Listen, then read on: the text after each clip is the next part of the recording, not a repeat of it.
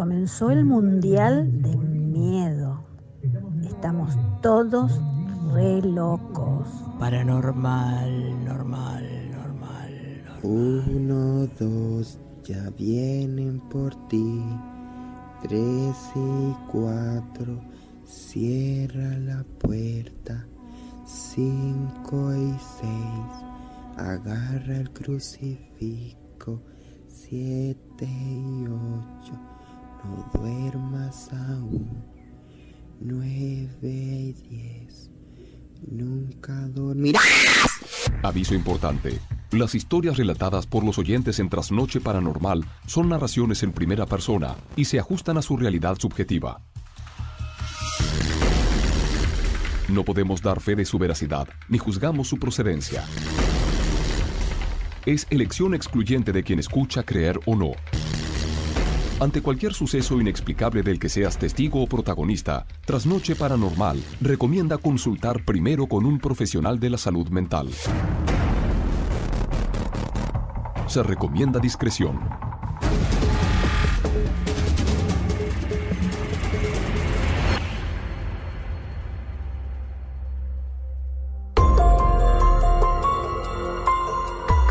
¿Qué tal? Buenas noches. Bienvenidos a todos una vez más a este programa de radio. Este programa de radio especial, como le gusta decir a Cunha. Este programa de radio que es La Trasnoche Paranormal. Hoy en su versión bonus. En este jueves a la noche, en vivo hasta la una de la mañana. Bienvenidos a todos. Bienvenidos a los que están del otro lado del parlante. Y ya, hoy y y en estos programas vamos a empezar a cambiar la manera de conectarnos a través del hashtag. Es una prueba, vamos a ver cómo nos sale. En lugar de empezar a tuitear desde ahora con el hashtag, lo vamos a hacer a partir de la medianoche. A partir de las 12 de la noche. Pero si quieren interactuar con nosotros, arroba Héctor Locutor. Arroba Héctor Locutor, ahí los sigo y pueden escribir para que sean parte del programa. Y en un rato, cerca de la medianoche, habilitamos el hashtag para ser parte en este bonus de ficción paranormal y de mitos. Un programa especial porque tiene varias cosas. Un programa especial porque vos sos protagonista, porque ya está abierto el 11 27 84 107 3. 11 27 84 107 3. WhatsApp abierto para que nos cuentes quién sos, a dónde estás, desde qué lugar de la Argentina estás con nosotros. Para que cuentes tu historia paranormal relacionada a los mitos o a la ficción. Esa película de terror que viste, esa serie que te marcó, el videojuego que jugaste. Todo en función de la ficción y del terreno paranormal y sobrenatural. 11 27 84 107 3. En un audio o texto. Si querés escribir un mail, trasnocheparanormal.gmail.com trasnocheparanormal.gmail.com En Twitter, arroba Héctor Locutor. ¿En qué lugar de la Argentina estás? ¿En qué provincia? ¿En qué barrio? ¿En qué localidad? ¿En qué pueblo? ¿Desde dónde nos escuchás? Contá todo en Twitter, arroba Héctor Locutor. Te repito, en un rato habilitamos el hashtag en un ratito nada más. En este programa vamos a hablar de Constantine, la serie. Será Sebastián Landresina quien se ocupe de eso, de Marvel Flix. En este programa en vivo, Ignacio Setembrini, que es experto en videojuegos, nos va a hablar de un clásico y pionero del género del horror, Silent Hill 1. En este programa también, Horacio Alejandría, periodista, miembro de APTRA, nos trae Poltergeist, la 1, y todo lo que pasó con esa película en el set de filmación y fuera de él, porque es una película maldita. Este programa va a cerrar con dos cuentos, por un lado Coco de Stephen King en la voz de May Martorelli, por el otro El hombre muerto, la adaptación de Juan Pablo Martínez del cuento de Leopoldo Lugones, en la voz, en la interpretación de Sebastián Yapur. Pero hay más, porque Mai tiene un ranking de trastornos mentales reales llevados a la ficción. Mai, buenas noches. Buenas noches a todos, ¿cómo les va? Muy bien. Sí, eh, trastornos mentales reales llevados a la ficción. Probablemente hayas visto algunas de estas películas, probablemente no. La que no hayas visto te pido que prestes atención porque cada una, son cinco. Ajá. Cada una imperdible en su propio género. Hay muchas, hay algunas que son muy viejas, de directores muy famosos, hay otras que son más nuevas. Todas y cada una de ellas trata una temática sobre la enfermedad mental o algún trastorno psiquiátrico o algún trastorno neurológico. Bueno, si te intriga, quédate escuchando porque en un ratito vas a saber más y te vas a sorprender, ¿eh? Porque seguramente hay cosas que no sabías que existen. Pero cosas, digamos, trastornos reales llevados a la ficción. Trastornos reales, ¿eh? Son cinco trastornos reales llevados a la ficción. Si te digo, por ejemplo, que uno A de ver. ellos se encuentra en Alicia en el País de las Maravillas. Pero es una película infantil. Bueno, pero está basada en un trastorno que dicen que Lewis Carroll, El escritor, Sí. habría sufrido de pequeño y en el cual se inspira para una parte de la película de Alicia en el País de las Maravillas. Se quedan con nosotros, estamos en vivo. Usamos, acordate, el hashtag, en un rato lo develamos. Usamos el Twitter, arroba Héctor Locutor. Contá todo por ahí, arrobándome y te leemos en vivo. Este programa lo tiene a él. Él es la persona que más sabe del fenómeno paranormal en Argentina. Es obispo luterano, exorcista, demonólogo. Ya estamos preparándonos para la segunda función de Mirada Mística en teatro el martes 4 de septiembre. Fue un éxito, lleno total, como se dice vulgarmente, la función del martes, y ya se viene la próxima, martes 4 de septiembre. Él es Manuel Acuña. Manuel, querido, buenas noches. Muy buenas noches, Héctor. Buenas noches, May. Encantado de estar con ustedes. Padre Obispo Manuel Adolfo Acuña, el exorcista. La ficción muchas veces toma cosas de la realidad, las representa, a veces metafóricamente y otras literalmente, ¿no? Absolutamente. En el mundo paranormal, digo, ¿no? Total, me- yo me quedo sin palabras. Cuando May trae los- estos temas, me quedo sin palabras. ¿eh? Me, me, me tiemblan las medias. Me tiemblan las medias. Se me desatan los cordones los zapatos. En serio, ¿no? Eso sí es paranormal. Es Eh, paranormal tremendo, eso, ¿eh? tremendo. No, sí es cierto. Bueno, eh, lo, de, lo de Alicia en el País de las Maravillas, cuántas cosas. Ah, tiene. te, qued- te quedaste Ah, intrigado. ¿le gustó? quedé, eh, especial. Y lo que trajiste vos también es picante, porque a muchos les va a gustar, sobre todo a los seguidores de cómics y también del cine, ¿no? Gracias, sí. Y eh, en este caso vamos a hablar de una nueva faceta de Batman en una colección que salió que se llama Otros Mundos. Ajá. Otros Mundos eh, intentó darle a los héroes diferentes eh, panoramas para su propio nacimiento y el nacimiento de otros héroes a su alrededor en universos paralelos, en universos posibles, en universos que no de, de otros tiempos en el pasado o en el futuro. Mm. Y hoy vamos a hablar de uno que se llama Terror Sagrado. Tiene que ver con, a ver, cuánto de, de Batman y de, de esta motivación espiritual que, que tiene, porque también es verdad que muchos conocen el personaje a través de alguna película, de alguna serie, los seguidores de cómic, de, de- justamente del papel impreso, pero hay tantas historias paralelas, ¿no? simultáneas sobre el mismo personaje que está bueno hacer enfoque puntualmente en esta que tiene mucho que ver con lo paranormal. Absolutamente, porque en este caso a Batman lo vamos a encontrar con, eh, por supuesto, siempre la base del asesinato de sus, de sus padres, pero lo vamos a encontrar en Inglaterra, eh, en la Inglaterra de Cromwell y con vocación sacerdotal. Epa. ¿Podemos romper el hielo y abrir ya el programa con esto? Uy, como, como digan ustedes, ¿eh? Sí, ya, porque estoy viendo el Twitter, arroba Héctor Locutor, ahí escribiendo que arranque Acuña.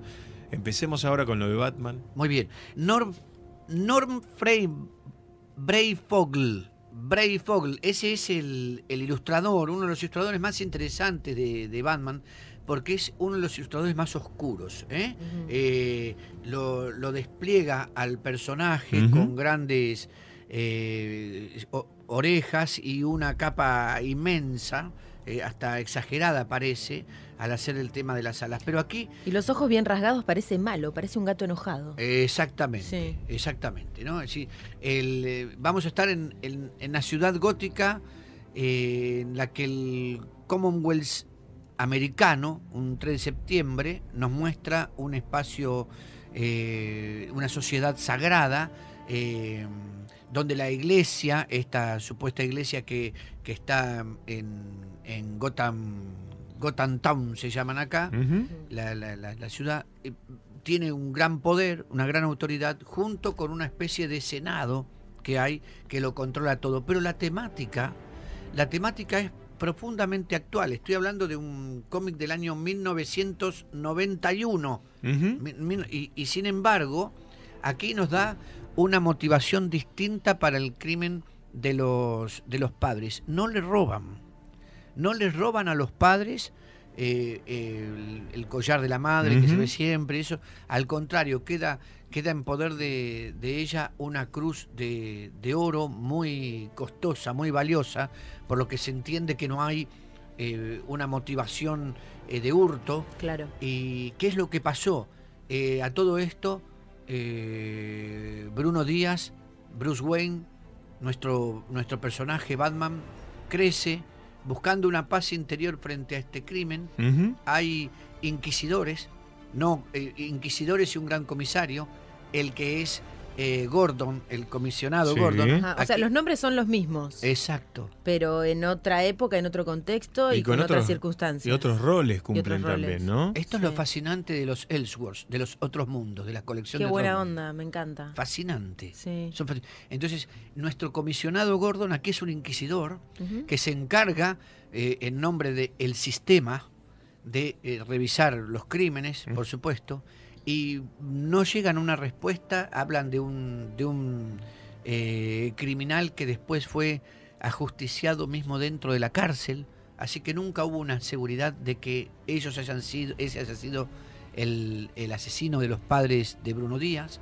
Bruno Díaz crece, quiere vender la mansión, le dice a Alfred que, eh, bueno, que podía ya retirarse, de, de da como una jubilación. Él dice que hubo siempre un pacto con su familia, que, que el, el mayordomo sirve al linaje del hogar, pero si no tiene hogar, ya, eh, si no hay nadie que ya debe, debe irse eh, muy, pero muy derrotado. Entonces, eh, este, nuestro Bruno Díaz le dice, quédate con la casa, porque en verdad vos fuiste mi hogar.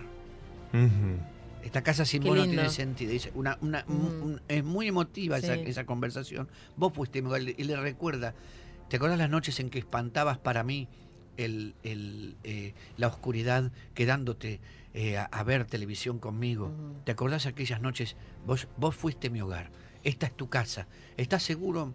Sí, yo tengo que irme.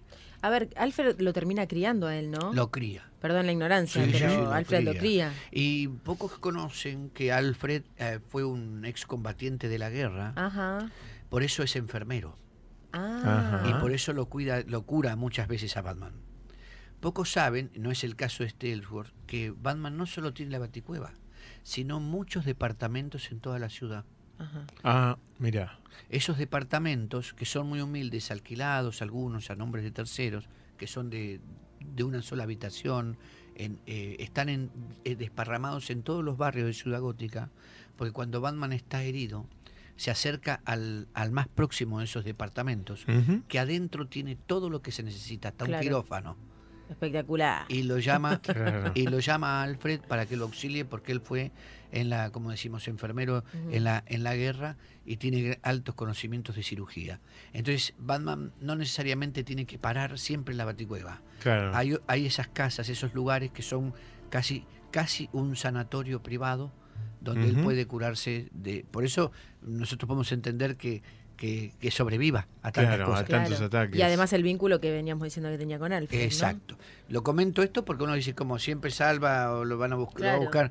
Casi nunca aparecen esos departamentos. Siempre aparece Alfred con el auto rescatándolo y llevándolo a Baticueva. Sí. No es necesariamente eso lo que sucede. ¿eh? Hay algunos eh, cómics privilegiados donde él va a esos departamentos y de allí llama eh, malherido.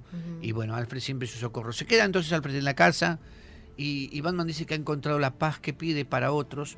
Y ese mismo día en que ella se está despidiendo del lugar eh, de, de su, de su mansión, aparece el que para nosotros es el comisionado Gordon, y acá es un inquisidor, a decirle que no estaban seguros que ese había sido el criminal de su padre, que la motivación era otra, y que él había encontrado un diario, Ajá. Un diario de los padres, y se lo entrega. Dice, la verdadera motivación está en este diario. A, a tu padre no lo asesinaron para robarle. ¿Y qué encontramos en el diario? ¿Qué se encuentra? Es la historia, es otra de las historias de Batman, ¿eh? Contada por Acuña. ¿Qué se encuentra en el diario? En el diario se encuentra a un doctor Wayne que junto con su esposa ayudaban a los que eran condenados por, esa, por ese estado ligado a la iglesia. ¿Y de qué estamos hablando? Estamos hablando de la homosexualidad, Ajá. de las personas que querían cambiar su, su, Su género. su género. Ajá. Estamos hablando de, de este, personas discapacitadas. Estamos hablando de la donación de órganos. Estamos hablando de un montón de cosas actuales. Y estamos hablando, y lo muestra el cómic, de una mujer muriendo después de un aborto. No. Estamos hablando de una especie de clínica que tenía su papá para ayudar a todas estas personas que eran condenadas. Que no había ley que las cuidara. Qué impresionante.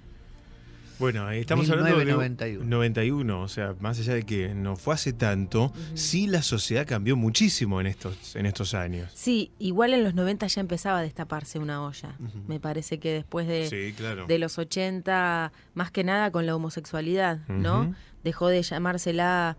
Yo no viví los 80, La peste pero, rosa, ¿no? Claro, se- ni siquiera se nombraba la enfermedad del HIV eh, y se la vinculaba directamente con la homosexualidad.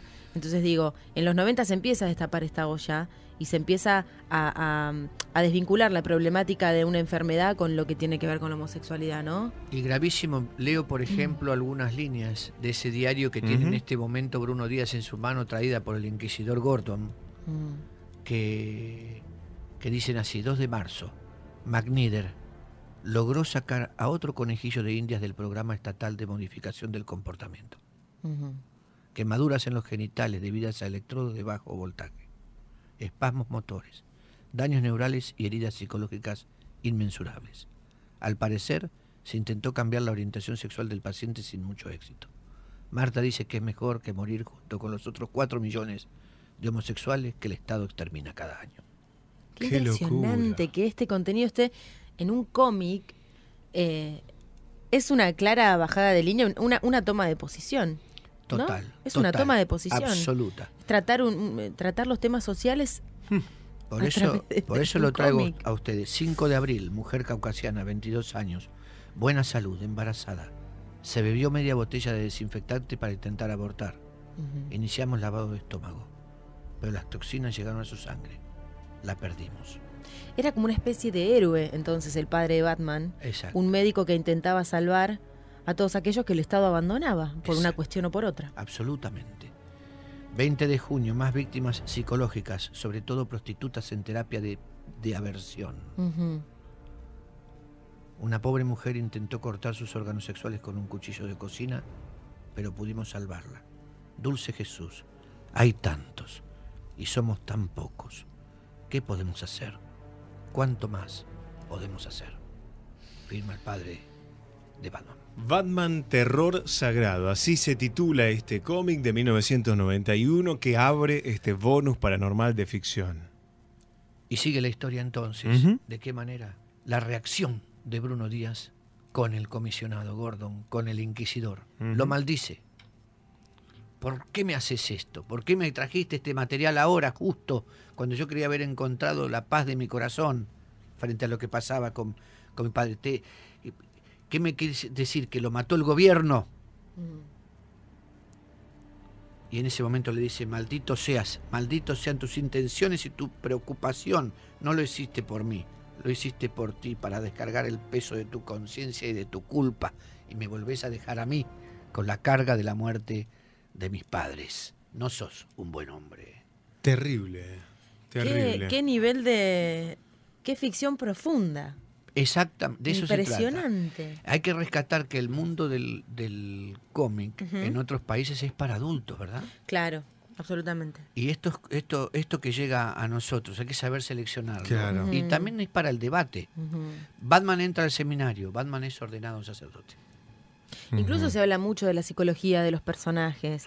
Digo, uno, eh, quizás quienes estén más adentro del, del, del mundo del cómic, eh, estarán diciendo esta piba es una improvisada. No, bueno, la idea Eh, es sumarlos Yo y que soy una outsider también, ¿no? del tema de los cómics, eso. pero sí sé que hay mucha pasión y que hay mucho estudio sobre también la psicología de cada uno de los personajes y lo que representan. Absolutamente, eh, eh, May, y con una, con una gran crudeza, Mm. ¿eh? una gran crudeza, donde, por ejemplo, asistimos hace poquito a, un, a, un, eh, a una película animada sobre Batman versus Dos Caras, hace muy pocos días, y esa película animada muestra eh, el intento de, de Bruno Díaz por curar a, a Harvey, a Ujú. Harvey Dent, que es el, el, el- el- el fiscal que luego sufre las quemaduras en la mitad de su rostro sí. y se vuelve dos caras. Sí. Sale esa lo, lo curan por fuera, pero al final eh,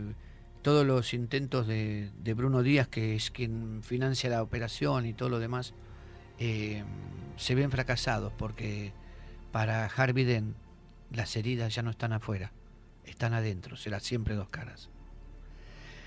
Un punto. Tremendo, eh, Eh, acá, tremendo. acá tenemos incluso imágenes religiosas dentro mismo del cómic. ¿Podemos sacar, ¿Podés sacarle fotos al cómic y empezar a subirlo en arroba obispo-manuel? Encantadísimo, Héctor y, y May, por supuesto.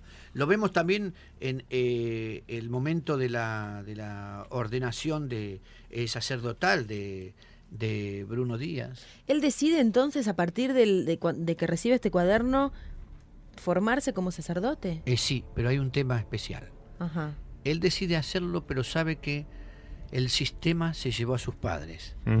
Entonces va a combatir eso. ¿De qué manera? Se recuerda, se recuerda que este, su papá eh, había interpretado en una en, en la iglesia, en una obra de la iglesia, había interpretado al demonio, el papá, Sí. en una, en- en una obra en la parroquia. Y él sabía de esa cueva donde él jugaba, que ahí había guardado cosas su papá, y busca ese, ese olvidado traje del diablo. Ah. Ahí está el uniforme de Batman. De Batman, ahí, ahí surge. Ahí surge. Por eso tan puntiagudo y tan cara de malo. Exacto. Ah. Entonces, por la mañana, durante el día, tenemos al padre Wayne. Y por la noche tenemos al, al demonio, a Batman, Claro. que está buscando la venganza por sus padres. En el medio, en el medio, experimentos genéticos Con él mismo, con los otros héroes. con otros héroes. Él descubre entre esos experimentos genéticos el que se hizo con un joven al que eh, se llama Barry Allen y al que todos conocen como Flash. Es un experimento genético que se encuentra prisionero del Estado junto con otros más. En- y hay un héroe al que se lo que tiene un final muy muy feo lo muere ahorcado lo ahorca el estado no Eh, nos deja que pensar si ciertamente fue eh, a propósito eh, lo hicieron lo hicieron mm, saber así Ajá. eh, eh, para difamarlo, un millonario industrial condenado por sedición por el apoyo a pornógrafos judíos como Isaac Singer. Fue ejecutado esta mañana, nos dice otra periodista conocida, Victoria Bale, conocida que acá aparece también, Sí. la periodista de Batman. Ese hombre colgado, ese millonario es Oliver Queen. Aquí no, no, no da el detalle de quién es Oliver Queen. Oliver Queen, que está siendo ajusticiado por la horca, por el Estado, por decir que apoya a pornógrafos, no es otro que Flecha Verde. Claro, claro.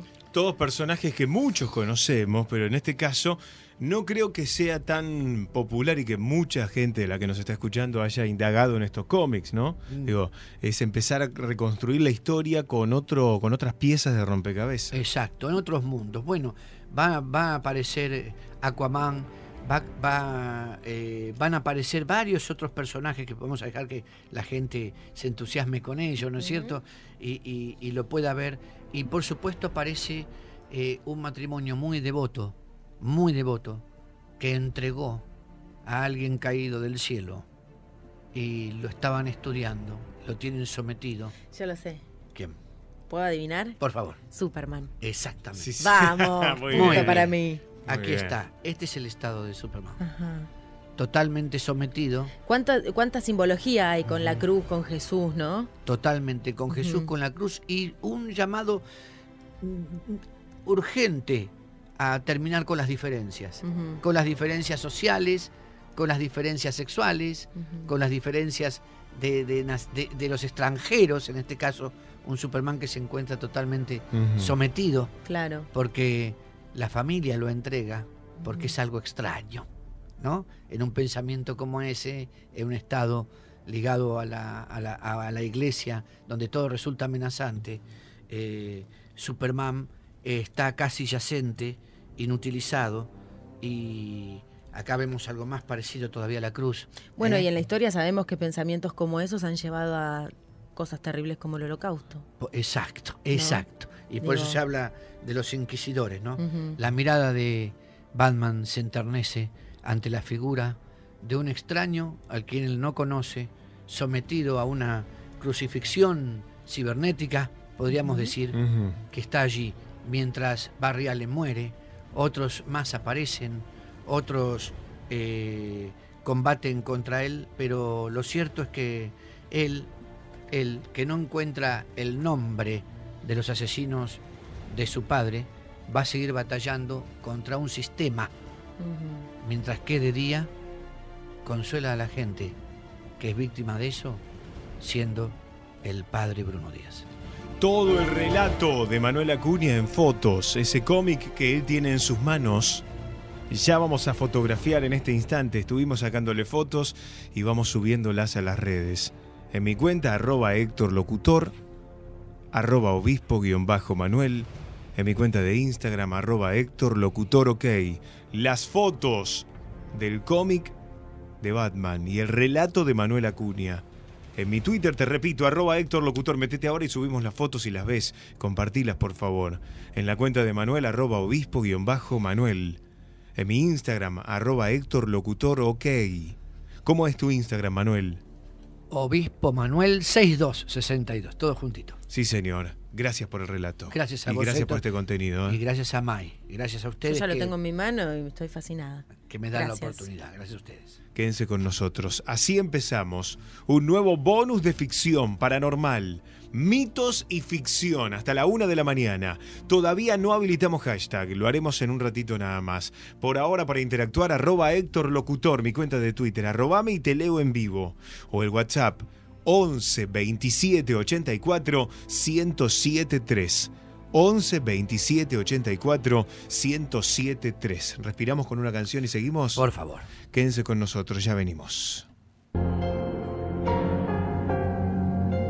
Especial Mitos y Ficción. Bonus Track Paranormal.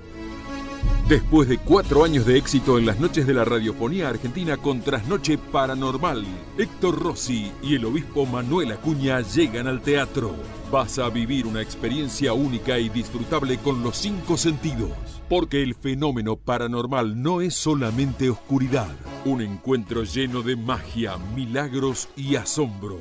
Sumergite en el mundo sobrenatural que nos rodea.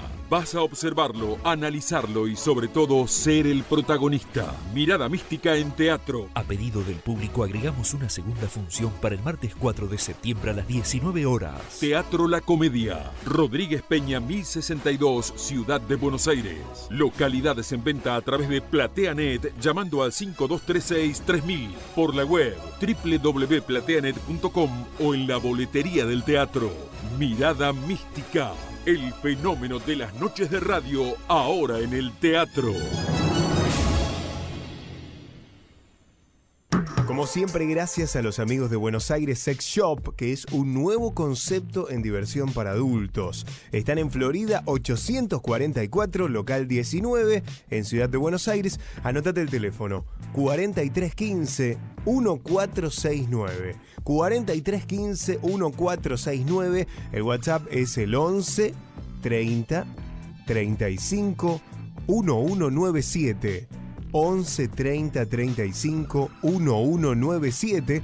te atienden de lunes a sábados de 10 a 20 horas. No tengas vergüenza, ¿eh? Este es un buen horario también para meterse en la página web www.buenosairesexshop.com.ar. Hacen envíos muy discretos a toda la Argentina. Son un equipo joven, sin prejuicios y dispuestos a asesorarte para que logres tu mejor experiencia. En Buenos Aires Sex Shop, tu deseo siempre se cumple.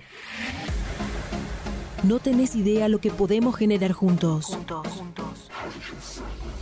Ediciones, artes, publicidades, spots, masterización en off, remixes aeróbicos, mezclas, by set. Tómate todo el tiempo que necesites. Acá estoy. DJ Bab. DJ Bab. Consultas al 3465 5965 48 o vía email djbab@gmail.com. Facebook DJ Bab Sessions. Gracias, gracias Sasa, gracias Mike, gracias Héctor. Paren con los bombos, paren con los bombos, que después hay que pagar asignación por hijo. Bueno, si quieren un buen show, se los recomiendo. www.maurelimitador.com.ar Te vas a matar de la risa, vas a ver. Después que no te avisé. Clínica del Alma del Padre Obispo Manuel Acuña. Una experiencia de sanidad espiritual sin igual. Todos los conocimientos adquiridos y practicados por el gran exorcista son aplicados a la sanidad energética y espiritual en todas las dimensiones. Aire, agua, fuego, tierra y éter. La experiencia y testimonios de cientos que han cambiado su vida avalan internacionalmente al más importante exorcista de América Latina. Clínica del Alma. Su puerta abierta a una nueva etapa de su vida y la de su familia. Reservas 4759 9067 o 4750 3269 de lunes a viernes de 15 a 19 horas.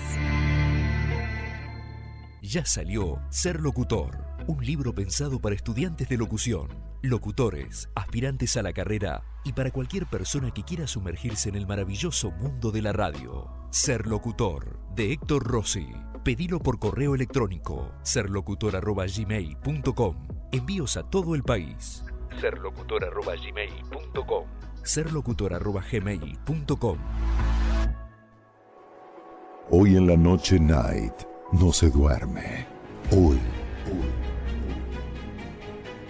La noche night es Noche Paranormal. Héctor Rossi y el obispo Manuel Acuña. Noche Paranormal en la Noche Night.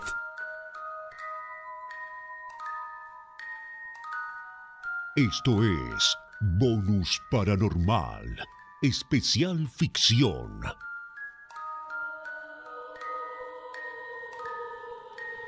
Es un especial de mitos y de ficción. Estamos en vivo. Todavía no abrimos el hashtag. Lo hacemos en un ratito nada más.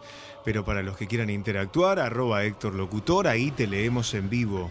Arroba Héctor Locutor. El WhatsApp está abierto. 11 27 84 1073.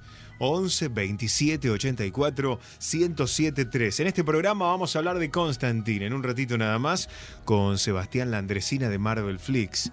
En este mismo especial, Ignacio Setembrini, que es experto en videojuegos, nos va a hablar de Silent Hill, el clásico y pionero del género del horror. Más adelante, Horacio Alejandría nos trae el terror en el cine retro y hoy la película elegida es Poltergeist, que tiene muchos sucesos paranormales en el rodaje y después también, vos lo sabes bien, Manuel. Algo bien grave hubo luego al final de esa película con la propia protagonista, ¿eh? Sí. ¿Eh? Bravo. O sea, un tema interesantísimo nuestro amigo. No sé hasta dónde va a ser ficción entonces, ¿no? Mm. Porque digo, si la realidad también tuvo su, su- su parte siniestra. Y pero decimos siempre acá, ¿no? Que es muy fino y muy delgado el hilo que separa la ficción de la realidad. Estamos en vivo y también vamos a compartir con vos la parte literaria de lo paranormal. Por un lado, Coco de Stephen King, en la voz de May Martorelli, y por el otro, cerrará este especial la adaptación de Juan Pablo Martínez del cuento de Leopoldo Lugones, en la voz de Sebastián Yapur. Hablamos de El hombre muerto. El cuento que va a cerrar este bonus paranormal. Para los que llegan recién, arroba Héctor Locutor, ¿en qué lugar de la Argentina estás? Contalo en Twitter, una foto. Fotos de televisores apagados o muteados. Fotos de radios encendidas. En un rato habilitamos hashtag y te digo, vamos a hacer trending topic. Ya están a la venta las entradas para la segunda función de Mirada Mística en teatro el martes 4 de septiembre. ¿Te quedaste afuera el martes pasado? Bueno, no te quedes afuera la próxima. Saca tu entrada, Manuel. Héctor, acá están escribiendo los amigos. Tienen que venir a Rosario, dice. Bueno, porque también ¿Eh? nos están invitando, nos invitaron a General Rodríguez también, y obviamente todas las, todos los que están escuchando la radio, incluso las repetidoras que nos están retransmitiendo, si quieren que vayamos con mirada mística con este espectáculo a su ciudad o a su localidad, se conectan con nosotros y nos lo hacen saber, ¿eh? Absolutamente, ahí vamos a estar, ¿verdad? Sí, señor, Con- salimos de gira. Con todo el equipo. Termina el con todas las ganas. Hacemos el 4 de septiembre y después ya vamos a distintos lugares de la Argentina donde nos convoquen. 11 27 84 1073. Pueden escribir un WhatsApp si están interesados en llevar mirada mística a su ciudad. 11 27 84 1073. Así que aprovechar el 4 de septiembre, que seguramente será por ahora lo último en Capital Federal, hasta que tengamos la oportunidad de estrechar en abrazo de luz a todos los hermanos del interior de la República Argentina. No se queden afuera. Si querés sacar tu ticket para el 4 de septiembre, ya te podés meter en www.plateanet.com, www.plateanet.com o en el 5236 3000, 5236 3000. Te vas a la boletería del teatro Rodríguez Peña 1062, Ciudad de Buenos Aires. Se puede pagar en efectivo, con tarjeta de crédito, con tarjeta de débito. Y si te queda alguna duda, en mi cuenta de Twitter, que es arroba Héctor Locutor, o un tweet fijado con el link para que compres tu ticket, tu entrada. También en la cuenta de Manuel. Así es, arroba obispo-manuel. Señoras y señores, este es el ranking que prepara May Martorelli.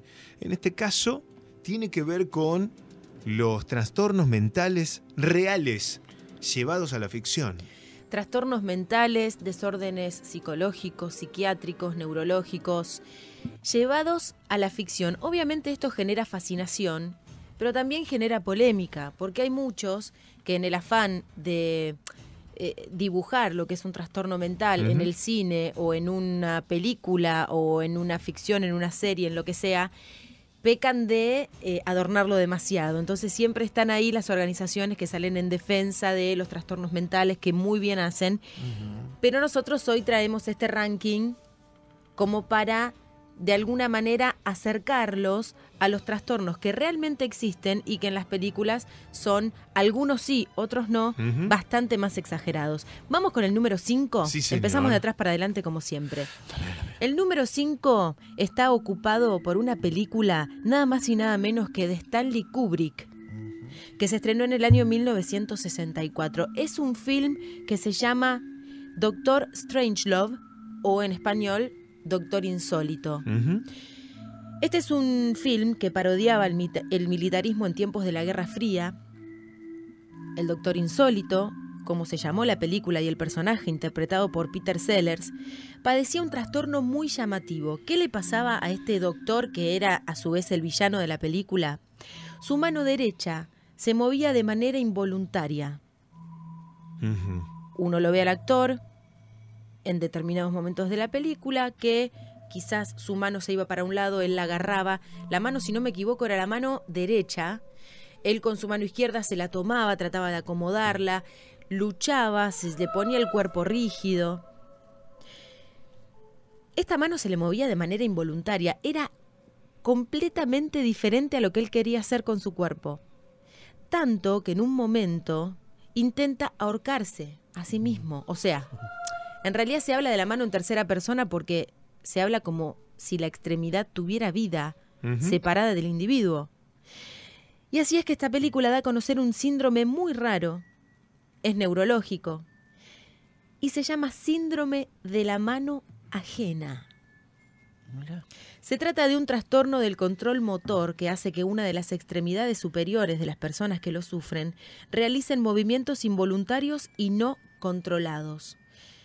Buscamos qué decía sobre esto Facundo Manes, uno de los más, eh, em, eh, uno de los, de los médicos más renombrados de la Argentina, que siempre nos está hablando sobre las funciones del cerebro. Es muy entretenido, Ajá. sabe mucho además. Y él nos cuenta que la propia mano se siente como si estuviera movida por otra persona. Incluso se registraron casos en los que las personas declaran que su propia mano intentó atacarlos, golpearlos o herirlos, como les acabo de describir en una escena de la película de Doctor Strangelove, donde su propia mano intenta ahorcarlo. Tiene muchas variantes, no vamos a entrar en detalle, tiene algunas variantes que según la lesión en el cerebro donde se encuentre, la mano va a estar mucho más ajena o se va a sentir mucho más ajena a esa persona. Hay uno de los, hay una de las variantes que tiene que ver con eh, el, el- el tallo en- del, del cerebro, donde los nervios están entrecruzados y la parte derecha maneja la izquierda y la izquierda maneja, estamos hablando de los hemisferios cerebrales, donde directamente eh, la mano hace lo contrario a lo que uno quiere. Es muy loco y parece de ficción, pero este síndrome existe en la realidad. Para todos aquellos que estén interesados, yo en este momento ya estoy subiendo a mis redes sociales, al Twitter, arroba Martorelli, la escena, voy a ir subiendo escena por escena. Bien. Qué bárbaro. Ya estoy subiendo la escena del Doctor Strangelove que vamos a escuchar a continuación, además, pero para todos los que se quedan intrigados, como es tan visual el tema, claro. nos pareció buena idea también adjuntar la escena y ponerla en Twitter para que todos ustedes vayan a verla. Igualmente, si quieren ver la película, mal nos le va a hacer. Está buenísima, Doctor Strangelove. Escuchamos un pedacito donde él está dando un discurso con un contenido bastante polémico y que cuando se escucha una especie de sonido que hace como ¡Ah! Esa, ese es él luchando contra su mano nazi que hace el saludo característico, que si lo quieren ver, eh, es, es muy bizarra porque es un, es un villano, eh, es un cliché, Claro. es un villano muy cliché, eh, y al final hace su gesto con la mano y es el Doctor Strangelove luchando contra su mano nazi. La ciencia no falla. Usted perdone, señor presidente. Los reactores nucleares proporcionarían energía indefinidamente. La vida vegetal subsistiría en invernaderos. Tendríamos animales gracias a la inseminación artificial. Había que hacer un rápido examen de todas las minas que se han construido en la nación, pero yo calculo que no sería difícil conseguir alojamiento adecuado para unas 100.000 personas. ¡Qué horror! Tener que decidir a estas alturas quién se queda arriba y quién abajo. No sería necesario decidirlo, señor presidente.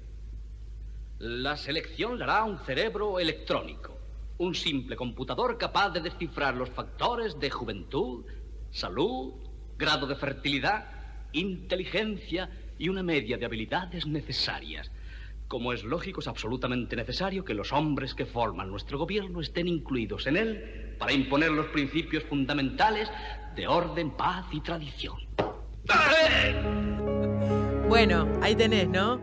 Eh, es casi una parodia exacta de lo que fue Hitler en su momento. Eh, y obviamente salvando a la clase política, ¿no? Claro. Los gobernantes tienen que Claro. estar. Eh, la gente va a pasar por un examen, pero los gobernantes tienen que estar ahí para garantizar el orden. Bueno, Doctor Strange lo pasaba en el puesto número 5. Quiero decir algo, habilitamos a partir de ahora el hashtag numeral vivo paranormal. Vivo paranormal. Numeral vivo paranormal a partir de este momento, los que quieran tuitear, numeral vivo paranormal. A partir de ahora usamos en Twitter numeral vivo paranormal. Sigue el ranking. Sí. Pero después de la tanda, ¿nos bancan? Por favor, está, está hermoso esto, está hermoso. Quédense con nosotros, ya venimos. Especial. Hoy en la noche Esto night es no se duerme. Paranormal. Hoy Especial ficción. la noche night es Noche Paranormal. Héctor Rossi y el obispo Manuel Acuña. Noche Paranormal en la noche night. Esto es Bonus Paranormal. Especial ficción. En vivo como siempre, gracias a todos por estar ahí. Numeral vivo paranormal. Numeral vivo paranormal. Estamos repasando en este ranking de Mai Martorelli los trastornos mentales reales llevados a la ficción. Ya pasó el primero y el segundo. El puesto 4, ¿cuál es? El puesto número 4 es una película de terror psicológico de 2017, bastante nuevita y bastante impresionante también, dirigida y escrita por Night Shyamalan. A ver, seguramente los que conocen de películas ya la adivinaron, pero es parte de una secuela además. Estamos hablando de la película Split o en español Fragmentado, que es una secuela indirecta del Protegido, película que protagonizó Bruce Willis Sí. y que también fue dirigida por el mismo autor, donde se narra el origen del villano de Glass, que se estrena además esa película ahora, en 2019. Ajá. O sea que son tres películas que en la historia de Glass van a tener su punto cúlmine cuando estos tres personajes, el de Fragmentado, el del Protegido y el mismo Glass, van a estar dentro de un hospital psiquiátrico tratados por una doctora especialista en megalomanías, más específicamente en gente que se cree ser un superhéroe y los va a atender a los tres en esta película que cuenta la historia de Glass. Qué bárbaro. ¿no? Muy bueno, muy bueno. Impresionante. Impresionante cómo va pasando el tiempo y todo va.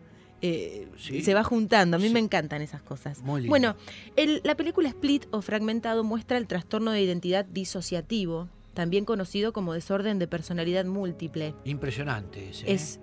Eh, La película es impresionante, la, la situación también del... No, y perdón que meta Sí, sí. un paréntesis entre el trastorno de personalidad múltiple, digo, algo que también eh, tiene que estar bajo tu lupa a la hora de alguien que puede presentar este, una posesión, ¿no? Digo, cómo identificar cuando se trata de un fenómeno espiritual o un fenómeno psiquiátrico. Tal cual, y me ha pasado más de una vez, Héctor, May. Y lo primero es ver de dónde viene la motivación, digamos, ¿no? Si el, si el que habla se siente adentro o se siente afuera, por ejemplo. Y cuando la persona habla en tercera persona de sí mismo. Tengo, eh, hace dos meses, bueno, tengo el feliz resultado de una joven de 25 años, que era otra persona. Y ¿Cómo? me- y me hablaban las dos. con otro nombre, con. eh, con otro nombre, con todo, me hablaban las dos. Una eh, conocía a la otra y decía defenderla, porque ella la ponía tranquila. claro. ¿no? Entonces yo, yo conversé con las dos personas. Es decir, eh, ahí no estamos ante un caso de posesión ni nada por el estilo. ¿eh? Claro. ¿Eh? No, estamos ante una escisión de la personalidad, donde Exacto. una personalidad toma el control de, digamos, toma eh, eh, la parte defensora, digamos. Por ejemplo, yo soy la Mayra que no se sabe defender. Ante algún, hecho, algún, ante algún hecho traumático de la infancia, dicen quienes saben que es- eh, la, la conciencia puede llegar a dividirse Exacto. o las personalidades pueden llegar a fragmentarse por hechos traumáticos en la infancia donde uno no fue capaz de defenderse o que necesita generar una personalidad completamente ajena para que lo defienda, para que eh, ante situaciones de estrés tome el control y pueda hacer que la persona eh, esté bien. Y es tal cual. Es así. cual. Sí, sí, sí. Y bueno, la, la Organización Mundial de la Salud habla Sí. del síndrome de monopático de personalidad múltiple. Síndrome de monopático de, De personalidad, personalidad múltiple. Y ahí algunos hacen, eh, fuerzan eh, que entre lo que es la posesión. Otros, eh, más inteligentes, la distinguen, ¿no? Y, Sí. y dan lugar a la- al, frente al relato religioso de la persona que pueda haber eh, un contenido espiritual en Sí. ello. ¿eh? Un contenido de, de tenor ex- extrasensorial, sobrenatural, ¿verdad? Otros. Pero bueno, en el síndrome de monopático de personalidad múltiple también se estudia esto de, de hablar en nombre de, de algún ser demoníaco o algo por el estilo. Por eso nosotros nunca vamos a un exorcismo sin que antes la persona llene, como decimos, una, una forma que hace las veces de historia clínica, Claro. que es analizada por los Claro. profesionales que me acompañan. Es importante decirlo eso. ¿eh? No, no, Vos, por eso eh, le que, Manuel trabaja de una es manera claro. multidisciplinaria, que no se corta solo, que él está siempre en contacto con los médicos, con los psiquiatras. Este, digo, es la única forma. La única manera. Es la única manera. eh, también es, es un modo de decir que al presente ya no hay tanta discusión entre la religión y la ciencia, Ajá. sino que muchos estudiosos y, y- y, este, profesionales de la salud mental este, están tomando en cuenta todo lo que se refiere a este, a este mundo sobrenatural o lo que llaman paranormal o lo que tiene que ver directamente con la posesión, ¿no es cierto? Porque para algunos hasta resulta la- el exorcismo para algunos puede llegar a resultar también un, bien digo, una forma de terapia, ¿eh? Ajá. Mm, que ayude a resolver algunas cuestiones que, Claro. que le toca también a la- al, al psicólogo, al psiquiatra. ¿eh? En el caso eh, oportuno, aunque no fuera una presencia real espiritual. Mientras tanto, ¿cómo si se garantiza? Bueno, existe lo que se llama exorcismo preventivo, que es una oración especial que hace el ministro religioso ante la persona en forma mental, sin que ella lo sepa, y allí esa oración, si hay una posesión, es captada enseguida. ¿eh? Ah, la persona interrumpe lo que estaba conversando y te dice, ¿por qué Sí. dice eso? ¿Por qué está hablando así? Ah, te escucha. Oh, me ha pasado. Claro. Me ha pas- y, y- y se pone seria, como que uno lo hubiera dicho en voz alta y lo que está haciendo es reprendiendo en silencio, ¿verdad? Bueno, interesante. Impresionante. Sí. sí. La palabra fragmentado cabe muy bien acá. Claro. Lo que estamos conversando, ¿no, es el título de la película, básicamente, donde el protagonista sufre este trastorno de identidad disociativo, que es una enfermedad mental, les decía, que se caracteriza por la existencia de dos o más personalidades en una persona, cada una, y esto es lo más impresionante, con su propio patrón de percibir y actuar con el ambiente.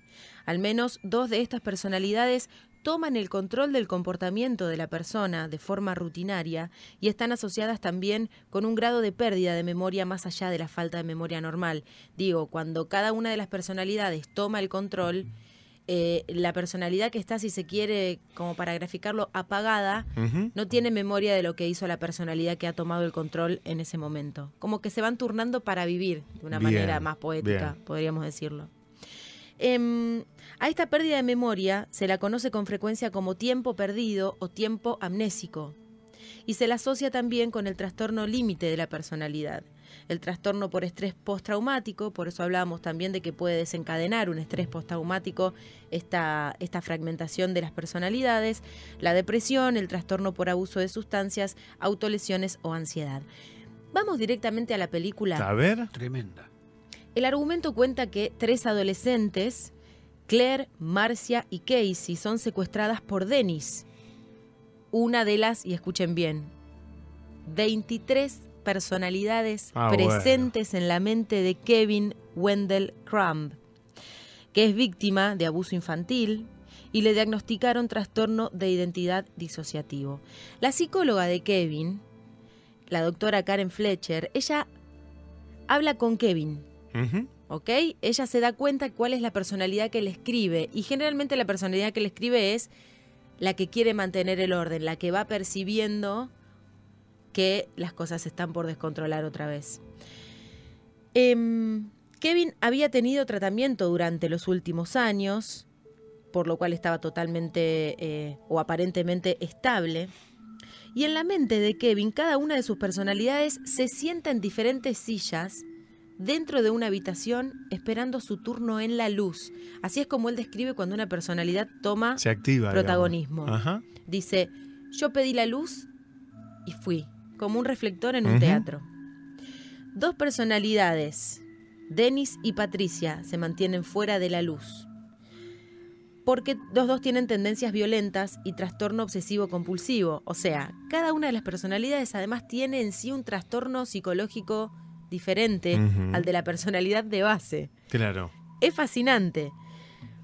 ¿Qué pasa? Cuando él secuestra a estas chicas, en un momento viene Hedwig. Hedwig es una de las 23 personalidades, es un niño de 9 años. Es impresionante ver al actor también cómo toma la forma de cada uno de los personajes, ¿no? En este caso, Hedwig lo van a ver en el Twitter, arroba May Martorelli, vamos a subir la escena también, donde el personaje, una persona adulta, toma la forma de un niño de Hedwig de 9 años que va a decirle a las niñas que tiene secuestradas o a las adolescentes que viene otra de las personalidades a la cual ellos llaman la bestia. A ver. Él ya está en camino. Él ya está en camino. ¿Quién?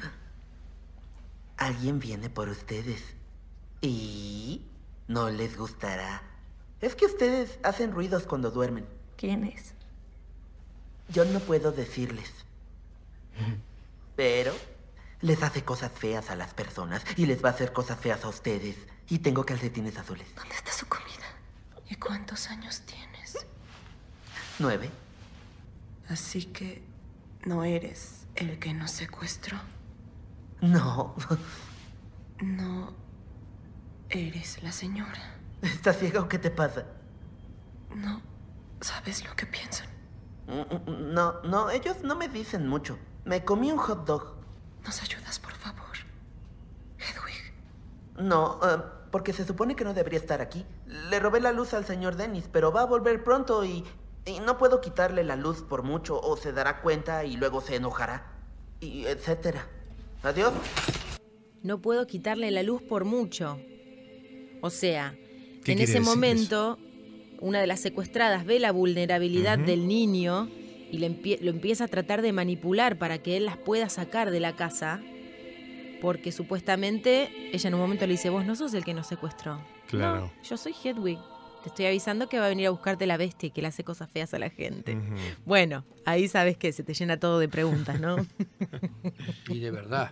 y Muy de bueno, verdad. Muy bueno. Véanla la película porque es espectacular. Es lindo material has traído, May, eh, porque esto es, eh, eh, eh, no tiene desperdicio. Yo lo recopilo de co- nomás. de colección este De programa. colección. Querido. ¡Especial! Vamos con el puesto número 3. Sí, sí. Nos metemos ahora sí en el mundo infantil. Nos metemos en Alicia en el País de las Maravillas. Porque para algunos niños las escenas donde Alicia se agranda y se achica, ¿ustedes se acuerdan? Sí. Cuando ella cae por el pozo del conejo, eh, se encuentra con una escena donde hay una mesa, hay una poción que dice tomame Ajá. y hay una torta que dice comeme. Cuando ella se toma la poción, se agranda, perdón, se achica, y cuando come la torta, se agranda. Supuestamente en esta escena la están mirando dos ratones que se, se, se preguntan y se cuestionan el hecho de que sea la verdadera Alicia la que anunciaba el, eh, el pergamino donde estaba el, el- el- no me sale la palabra, el frabulloso día me sale, pero no me acuerdo cómo era. Era el día del juicio final. Es donde ella va a matar al dragón que estaba eh, al monstruo, Sí. digamos. ¿Qué pasa? Ahí los ratones empiezan a discutir. ¿Es Alicia? ¿No es Alicia? ¿Cómo puede ser que no recuerde habiendo estado tantas veces en este lugar? Hacemos referencia a este hecho, ¿por qué? Porque primero es lo que van a escuchar ustedes en el audio y segundo, porque esta situación que se percibe como agrandamiento del cuerpo o como el achicamiento de los objetos, eh, no definir a qué distancia está un objeto, sentir que tu cuerpo es tan grande como la habitación, es algo que experimentan muchos niños y se cree que en este trastorno se habría basado Lewis Carroll para escribir por lo menos estas escenas donde el cuerpo de Alicia cambia de tamaño. Se llama micropsia y macropsia. Son dos síndromes diferentes, opuestos obviamente. Micropsia tiene que ver con percibir los objetos mucho más pequeños y macropsia con percibirlos súper, súper grandes. Este trastorno neurológico normalmente se diagnostica en la infancia, donde los niños relataron sentirse como los personajes del cuento. De pronto sus papás se hacen tan pequeños que se ven como muñequitos.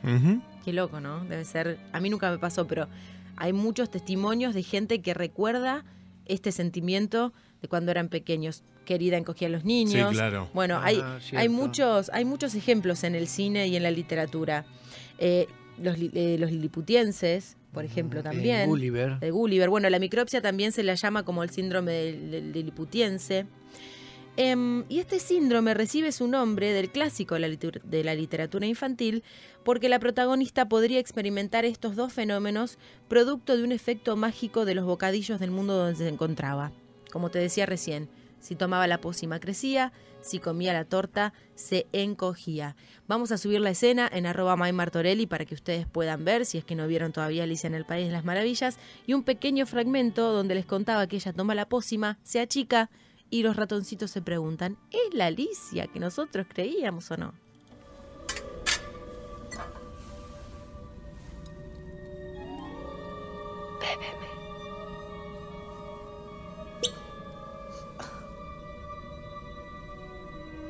Solamente es un sueño más.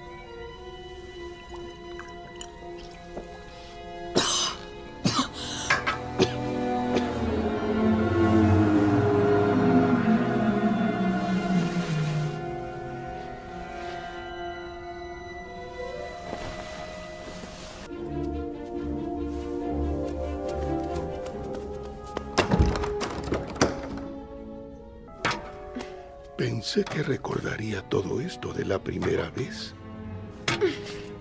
Trajiste a la Alicia equivocada. No, es la correcta. Estoy convencido.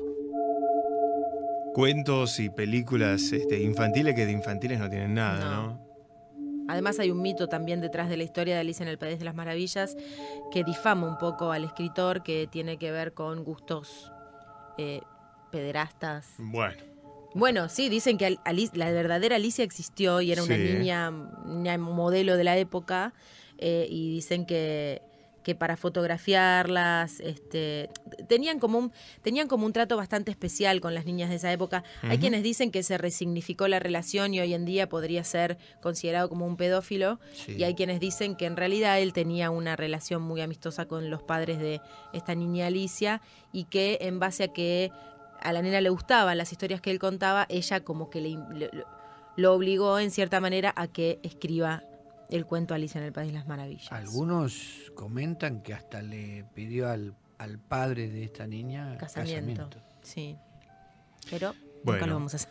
quiero decirles algo, porque el ranking es más largo y quedaron pendientes para el jueves Ay, que no te viene. lo puedo Sí. creer. ¿Cuáles? Dios. ¿Cuáles quedan pendientes para el No próximo puede jueves? los dos más fuertes, los dos más fuertes. ver, ¿cuáles quedan. son? Vamos del 5 al, del 5 al 1, el 2 y el 1. Puesto número 2 se lo lleva el trastorno obsesivo compulsivo en la película El Aviador, interpretada por Leonardo DiCaprio. Es una película que muestra muy bien, yo creo que representa muy bien el trastorno obsesivo compulsivo, que está muy de moda decir tengo TOC, tengo TOC, chicos, no es joda el TOC. No es eh, me olvidé de cerrar la llave de gas y vuelvo a mi casa una vez. No. La persona que sufre trastorno obsesivo compulsivo vive con angustia, hay, eh, eh, vive inundada de pensamientos que le imposibilitan vivir, de actos y de rituales que le imposibilitan vivir. No es joda el TOC, no digamos tengo. TOC porque hay, tengo que contar las baldosas. No. Eh, no, no, no, no es broma. Eso por un lado. Y por el otro queda el puesto número uno, que es el síndrome de Fregoli, que yo toqué. Tengo que eh, confesar que no lo había escuchado jamás. Por eso ocupa el puesto número uno, porque es el más extraño. Eh, y que hay una película hecha enteramente en base a este síndrome, que se llama Anomaliza. Es una película eh, en stop motion impresionante. Stop hecha- motion es este movimiento por movimiento. Movimiento por movimiento y con... eh, son eh, marionetas, Ajá. son... eh, Sí, sí, seres, eh, Son muñecos. inanimados que Muñecos inanimados. fotograma por fotograma, como los de Tim Burton. como los de Tim Burton. Bueno, Tremendo. pero más realistas. Bien. Vos la mirás y parece una película. Te das cuenta que es un dibujo, pero te- tiende a imitar la realidad. El protagonista de esta película sufre el síndrome de Fregoli, pero no te lo voy a contar ahora porque lo vamos a dejar para el jueves que viene. ¿Qué te parece, Manuel? Bueno, yo no sé. Después se lo voy a preguntar en privado. Sí, pregúntaselo en privado. Sí, sí, pero hay que escuchar el programa, ¿eh? Sí, por Eh, favor. claro, por favor, sí, el programa. dale. Quédense con nosotros, no se vayan, que ya venimos. Esta noche no se duerme. Hoy, la noche night es Noche Paranormal. Héctor Rossi y el obispo Manuel Acuña. Noche Paranormal. Noche Night. Es idea lo que podemos generar juntos. Ediciones, artes, publicidades, spots, masterización en off, remixes aeróbicos, mezclas, by set. Tómate todo el tiempo que necesites. Acá estoy, DJ Bab. Consultas al 3465-596548 o vía email djbab.gmail.com Facebook, Facebook, DJ Bab Sessions. Hola, Héctor. ¿Taza? Mai, hola, ¿me escuchan? Contraten para sus fiestas al mago de las voces. www.maurelimitador.com.ar ¿Se entendió? ¿Se entendió? Esto es Bonus Paranormal. Especial Ficción. Gracias por estar ahí con nosotros, gracias y bienvenidos a los que llegan ahora. Hoy usamos numeral vivo paranormal. Numeral vivo paranormal. Es jueves y como todas las noches de jueves es bonus paranormal, pero en este caso de ficción y de mitos. Numeral vivo paranormal. Numeral vivo paranormal.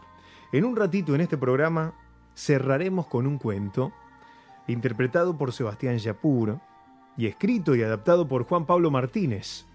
El de hoy se llama El hombre muerto y es una adaptación del cuento de Leopoldo Lugones. Ese será nuestro gran cierre. Pero ahora es momento de meternos con nuestros compañeros que van a hablar de series, de cine y de videojuegos de terror. Para hablar de series, en este caso, una gran serie que tiene que ver directamente con lo paranormal está, como siempre, Sebastián Landresina de Marvel Flix. Hola, Sebas, ¿cómo estás? Héctor, ¿cómo va? Buenas noches. Buenas noches. Todo bien, todo tranquilo. Nos contaba fuera del aire que además cantás. Sí, pero no es Ya lo no, que- no es tu métier No- ahora. No estoy para esos trotes. Perfecto. Que cante, ¿no? Sos el, el director de Marvel Flix. Correcto. ¿Qué es Marvel Flix para los que recién llegan? Es una plataforma donde les cuento todas las novedades del universo Marvel, este, tanto en Twitter, en Instagram y tengo el canal de YouTube también. ¿Cómo, cómo lo encuentran? En Twitter, arroba MarvelFlix, en Instagram, eh, arroba MarvelFlix-arc, como Argentina, y en YouTube se pueden suscribir al canal MarvelFlix. Mucha interacción el jueves pasado, ¿eh? Muchísima. Mucha. ¿Te muchísima. contestaron de Sony? Todavía no. Vale. Vamos a bancar un cachito. Pero más. alguien va a caer. Alguien va a caer. Hoy lo hacemos de nuevo. Hoy lo hacemos de nuevo. ¿Y hoy de qué vas a hablar? Hoy les traigo, traiciono a los Marvelitas Ajá. y traigo cosas de DC. Vamos a hablar de John Constantine. Bien. La serie de DC que, eh, nada, nos trajo una temporada solamente, pero vamos a hablar un poquito de la serie y del personaje en sí. ¿Se sabe por qué solo fue una temporada? Eh, se supone que es un tema de rating y de presupuestos, algo que. NBC no supo explicar muy bien, pero cancelaron la serie, pero el personaje como sí fue bueno, tuvo una muy buena interpretación, apareció en el Arrowverso. Bien. Apareció en Arrow, apareció en Legends of Tomorrow. Bancaron el personaje. Disculpa, ahora se va a estrenar una película animada. Correcto, se va a estrenar una película animada, ya, eh, Ya está el tráiler también. el y todo. Está el tráiler, eh, ya está anunciada la, la fecha de la película también. Este, así que nada, dentro de poquito ya la vamos a poder ver. Bueno, además de Sebastián, esa voz que escuchaban es de Ignacio Setembrini, que es experto en videojuegos. Hoy tuvo un examen, no sabemos cómo te, cómo te fue. No, tampoco yo. ¿El examen tiene que ver con los videojuegos? Sí, es de ilustración. Ah, porque estás estudiando, ¿cuál es la carrera? Es diseño y programación de videojuegos. Muy bien, muy bien. No sabemos cómo te fue. No, no sé, no, pero seguramente que bien. Bien, seguro que bien. Che, que te siguen en Twitter, ¿cómo te encuentran, Ignacio? Sí, como I Setembrini, Setembrini con doble T, B larga y M. Arroba y Setembrini. Bien, también tuviste mucha interacción el jueves pasado. Muchísima, me encantó. ¿Te gustó? ¿Qué te decía la gente? Y me recomendaba juegos, Ajá. le gustó, hablaban sobre el video y, y hasta me pidieron sobre que hable sobre manga. ¿En serio? Así que. Bueno, tenelo en cuenta. Sí, sí, ya me compré un manga de terror. ahí, Vamos todavía, vamos todavía. Y hablando de terror, ¿hoy qué trajiste? Hoy traje sobre un clásico del género del survival horror, del terror en los videojuegos, que hasta fue pionero de este. ¿Quieres que te diga el nombre ahora o.? No, no me lo digas, pero Dale. contame algo más sin decirme el nombre. Es el juego que me cortó la luz tres veces. El juego piedra es, Sí, entonces. y, y me dio pesadillas, tanto a mí como a millones de personas alrededor del mundo. El juego tiene una historia, digamos, hay un hilo narrativo. Tiene una historia buenísima y muy compleja. Espero narrarla bien. Ya digo que va a tener spoiler lo que voy a decir. Voy a contar toda la historia. En un minuto entonces develamos cuál es el juego.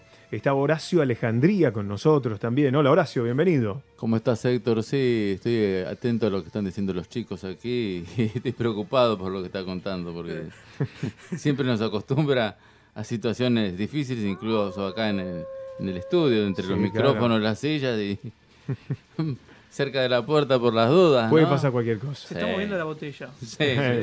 Puede pasar cualquier cosa. Horacio, Exactamente, se está moviendo la botella. mira. que es periodista, que es miembro de APTRA y que hoy, ¿qué trajiste Horacio?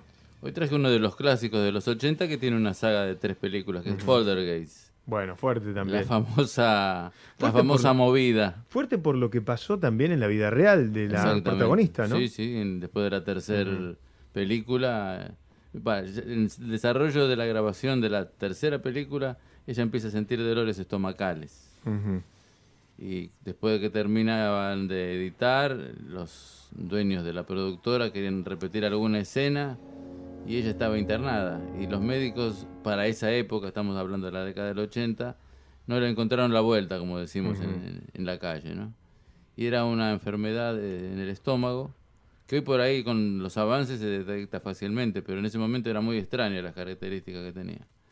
Fue la principal víctima, una de las cuatro víctimas de las tres películas de Poltergeist. Podemos hablar de película maldita. Y en algún sentido, por supuesto. Sí, sí. En un minuto entonces con Horacio también. En vivo en Twitter somos numeral vivo paranormal. Numeral vivo paranormal. Como te decimos siempre, a inundar las redes sociales de fotos de películas de terror que te hayan dado miedo de verdad. Numeral vivo paranormal. Y fotos de series también, como esta que rompe el hielo con Sebastián Landresina y Constantín. ¿Es así? Sí, Constantine, esta serie de DC, eh, que bueno, como te comentaba antes, tuvo una sola temporada, lamentablemente, eh, porque para algunos la serie fue muy buena y para otros fue muy mala. Eh, ¿Para la- vos? la- para mí fue más o menos, no fue ni muy buena ni muy mala. Había algunos hilos conductivos de la trama que no, no cerraban y es como que también los villanos que uno quería que se mantengan, tipo regulares, no lo eran. Y el- lo único que sí estuvo muy bien fue el final, capaz. Los últimos capítulos estuvieron muy bien. Este, no los voy a contar, obvio, porque quiero que la gente lo vea, este, para que compruebe y que tenga una opinión propia. Pero la serie en sí, bueno, trata de Constantine, este personaje de DC Comics, traído directamente del cómic Hellblazer, este, que es la, esta saga de historias de ocultismo, de demonios, eh, con trae un personaje que es cínico, que es sarcástico, que es eh, muy hábil, muy ma- manipulador, este, y tiene la característica de conocer mucho de eh, las artes del ocultismo y de, eh, no sé si puedo decir magia negra o algo, algo así. Este, es un personaje que se caracteriza por cazar demonios, mandarlos a su casa, como quien diría. Este, y en la serie trata un poco de eso también. Eh, la serie es como. tenía capítulos que son autoconclusivos y nos mostraban historias por cada capítulo. Los villanos que aparecen en la serie son eh, Papá Midnight, que es uno de los hechiceros sudafricanos, es un hechicero sudafricano, que es el rival de Constantine este, en los cómics, un clásico. Y acá aparece dos capítulos y como que no termina de cerrar la historia y muchos de los fans quería que sea el, el villano regular de la serie. Claro. Este, en la serie nos muestran todas las habilidades de Constantine, cómo él se maneja con los espíritus, los demonios y también eh, su capacidad de manipulación y de cinismo que tiene para con los personajes de la, de la serie. Eh, es un tipo al que le- no le podés confiar tu vida, pero es el único que te puede salvar. Qué fuerte, ¿no? ¿Y cuánto Sí. de la vida real debe haber? También, digo, en esto metafóricamente hablando, ¿no? Tal Sí, vez. Sí, sobre todo con el tema de, de esto de, la, de los demonios, de las posesiones y demás, este, y lo sobrenatural que rodea la serie, es muy interesante también. No, quería contar algo interesante, porque a mí me gustó mucho el personaje y leí los cómics. No sabía si ya lo sabía, pero es tan manipulador y tan controlador que hasta ha engañado al primero de los caídos. Correcto, A muy bien. Lucifer. A Lucifer, ¿En exactamente, serio? sí. Sí. Eh, supo engañar al primero de los caídos. Tiene razón acá el amigo Nacho. Qué locura. Bueno, en la primera película. Pero yo eh, digo qué locura y te sigo escuchando en función de que lo veo a Cuni ahí atrás del vidrio, que ahora te lo voy a preguntar, Manuel, ¿cuánto de la, de la historia real, ¿no? de la demonología, como dice Manuel, tiene la, la serie? Sí, la serie tiene mucho de eso. Este, y volviendo un poco más al pasado, en la película, justamente el villano de la Sí. película es Lucifer y él lo termina engañando. Claro. Hay una escena muy recordada que es donde supuestamente se lo viene Dios a llevar a Constantine y Lucifer le dice, vos no te vas a ir. Y él cuando se está, cuando se está yendo le va levantando Sí. el dedito con gesto de idea. Este, y lo que hace Lucifer para mantenerlo, le quita el cáncer que tenía en los pulmones. Ajá. Y por, por eso lo termina engañando y Lucifer le termina salvando la vida. Qué locura. Porque Constantine es un fumador. Un fumador con-. Bueno, Sí. una de las polémicas de la serie es que no se lo ve fumando a Constantine en la serie. Exacto. Y eso es algo característico del personaje. ¿No habrá sido por alguna prohibición? Eh, en realidad, NBC, como es una cadena inglesa y toda la historia, eh, tiene como una de sus prohibiciones que en, en- en las series no se vea fumando ni haciendo cosas para ellos prohibidas. Claro. Che, qué raro que no continuó. No continuó. Por- porque no. más allá del rating no debe haber sido desastroso. No. Acá el a mí me encantó, pero yo soy fanático. o Ah, sea, bueno, de- a mí me gusta mucho Hellblazer, la historia de los sí. cómics, son historias grises, son historias eh, tenebrosas, ¿viste? Muy oscuras. Y en la serie pudimos ver un poco de eso, pero eh, como yo decía, algunos agujeros de trama hicieron que no, que no continúe. Eh, después NBC tiró la excusa de presupuesto, tiró la excusa de... que- ¿Cómo, ¿Cómo reacciona el público? Y había opiniones dispares, muchos querían que siga. Este, y bueno, tanto fue así que NBC propuso, NBC no, en realidad eh, el protagonista de Arrow, Stephen Amell, eh, pidió que forme parte de, de la Arrowverse. ¿Cómo se llama el, actor que hace Constantine? Que me Matt? Ryan. Matt Ryan. Ese eh, quedó como Constantine. Sí, es, ya. una- es un actor galés, Matt Ajá. Ryan, este, y encarna a Constantine, que es un, un inglés de Liverpool, que en su, en su juventud fue punk. Qué locura. Este, y eso es lo que lo hace tan, eh, digamos, eh, tan, tan cínico y demás. Le da esa característica al personaje. Mucha gente se pregunta, numeral vivo paranormal. ¿La puedo ver ahora en alguna plataforma, en algún lado? Eh, actualmente en streaming no Sí. hay nada. eh, busquen por internet que lo van a encontrar. La encontrás. La encontrás. Eh, si quieren seguir viendo al personaje, en Legends of Tomorrow aparece Constantine.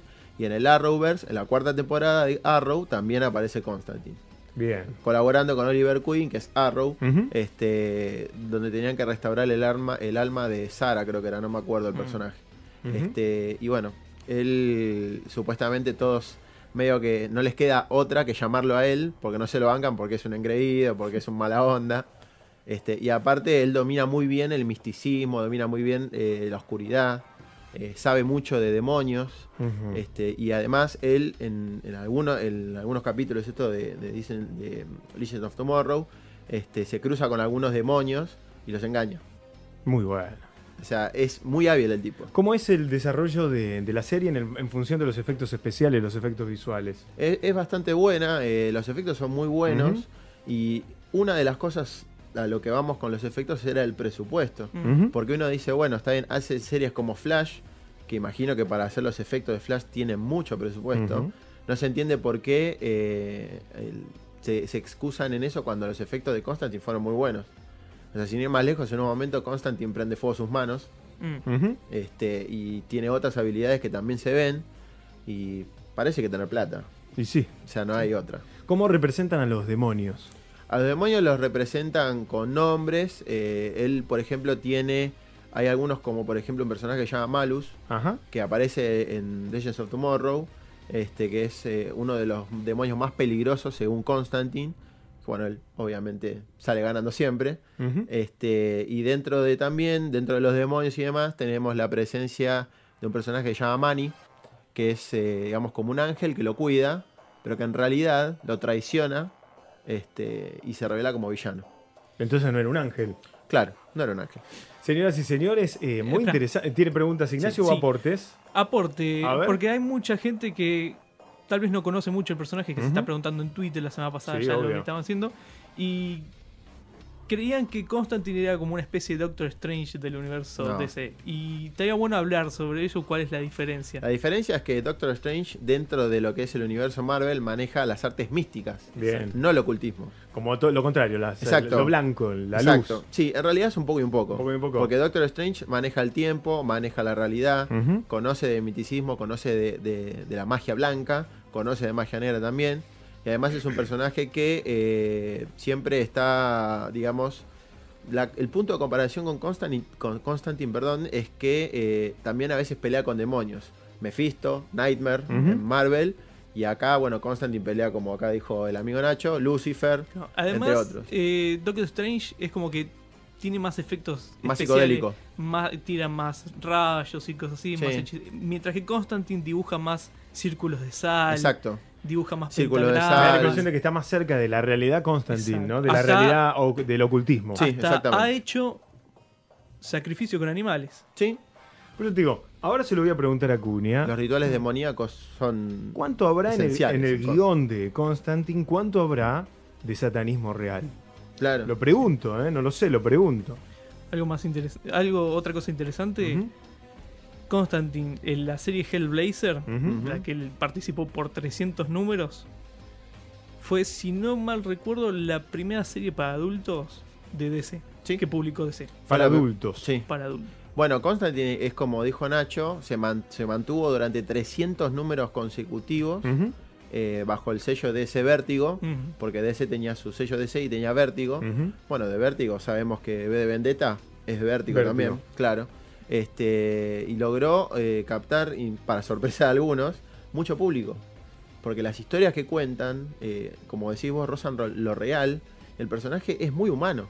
Me llama mucho la atención que con todo esto que estamos hablando y lo que veo en Twitter, numeral vivo paranormal, hayan levantado la serie y no esté al aire.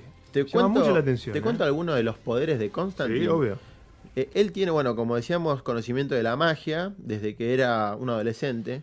Eh, es, eh, tiene, tiene posibilidad de hacer exorcismos, Constantine. De hecho, en la primera película, que allá por el 2005 creo que fue, protagonizada por Kenny Reeves, en, una, en la cinta donde aparece Lucifer, la primera escena de él es un exorcismo. Una chica en una cama y aparece Constantine fumando, muy canchero, este, como sobrando la situación y, como siempre, engañando al demonio, liberando a la persona de, de la posesión y resolviendo el caso. Eh, también tiene bueno, poderes de, de invocar demonios. Este, tiene posibilidad de viajar interdimensionalmente. Hace, como dijo Nacho, estos círculos mágicos. Hace sacrificio con animales para algunos rituales. Este, maneja también mucho la piroquinesis, que es eh, el poder de Fuego. fuego. exactamente. Y bueno, el ocultamiento sobrenatural o la magia oculta, el ocultismo. Sabe mucho de demonios, de demonología, de exorcismos, de espíritus, presencias astrales. Tiene, tiene un amplio abanico. Te pregunté cuando empezaste a hablar qué te había parecido a vos y ahora te pido una conclusión, digamos. Eh, ¿Una serie que hay que ver? ¿Qué decís vos, Che, Sebas? sí, yo la recomiendo. Yo creo que totalmente hay que verla. Este, más si vieron la película de 2005 y se quedaron con un sabor amargo. Porque, en mi opinión, Keanu Reeves no era Constantine. O sea, Sobre todo porque estaba tan ligado también a Matrix, ¿no? Digo, a veces pasa eso con los personajes. Con en los realidad no, no tanto como eso, sino por la estética que da el personaje. No, no Porque es. Constantine es un tipo rubio con un sobretodo gris, una corbata roja y una camisa blanca y fumando. Claro. Keanu Reeves no es rubio y no usó No estaba demacrado. Claro, también eso. Aparte, Constantine es uno de los personajes de DC que sí envejece. Claro. Ah. Al último número ya es un Eh, viejo. al último número, como dijo el amigo, es un viejito. ¿Se puede spoilear cómo termina el, el cómic? No. No, ok. Prefiero que los lean. Por- perfecto. Te- porque- te Te van a putear, ¿no? Tengo también un dato. A ver. Actualmente Constantine forma parte de este universo, está junto con Batman y todo Correcto, eso. sí. Y ante los problemas sobrenaturales sabemos que Superman es eh, débil contra la magia, no solo contra la kriptonita. Exactamente. Lo que hacen es crear una Liga de Justicia Oscura, Exactamente. Iba a en la cual... ¿En Ah, perdóname. No, pero, pie. por favor, Sí. para mí es un placer. La que- cual que Constantine es el líder. Constantine es el líder de la Justice League eh, Dark Oscura. Ajá. Y había una- un potencial proyecto de película que iba a ser dirigido en un principio por Guillermo del Toro, gran director de Sí. cintas como La forma del agua, Sí. película que se estrenó hace poco. Y también eh, estaba como candidatos a dirigir también Cifrón Qué bueno. y Qué Andy, Mu- Andy. Muschietti. Ajá. Directores de los simuladores, bueno, los simuladores, la, una de las obras más conocidas. Y Andy Muschietti, It. Sí, muy bien, muy bien. Así, Así, que, que, se- eso es probable entonces, la Liga de la Justicia Negra Sí, Oscura. es un proyecto que por ahora está frenado. No hay novedades, solo se sabía eso y nada más. Fue Constantine, lo presentó Sebastián Landresina de Marvel Flix. Repetime, ¿cómo te siguen, cómo te encuentran, cómo te proponen nuevos temas, Sebas? Eh, en Twitter, arroba MarvelFlix, en Instagram, MarvelFlix-ARC y Ujú. YouTube, MarvelFlix. Ahí me pueden suscribir. La ¿Puedo hacer una bendita lo que vamos a la semana que viene? Sí, claro, obvio. La semana que viene vamos a hablar de Dormammu. ¿Cómo es? Dormammu, Dormammu. un villano de Doctor Strange. Señoras y señores, Sebastián Landresina con nosotros. No te saludo, quédate. Obvio. Quédate. Y quédense ustedes también, ya venimos.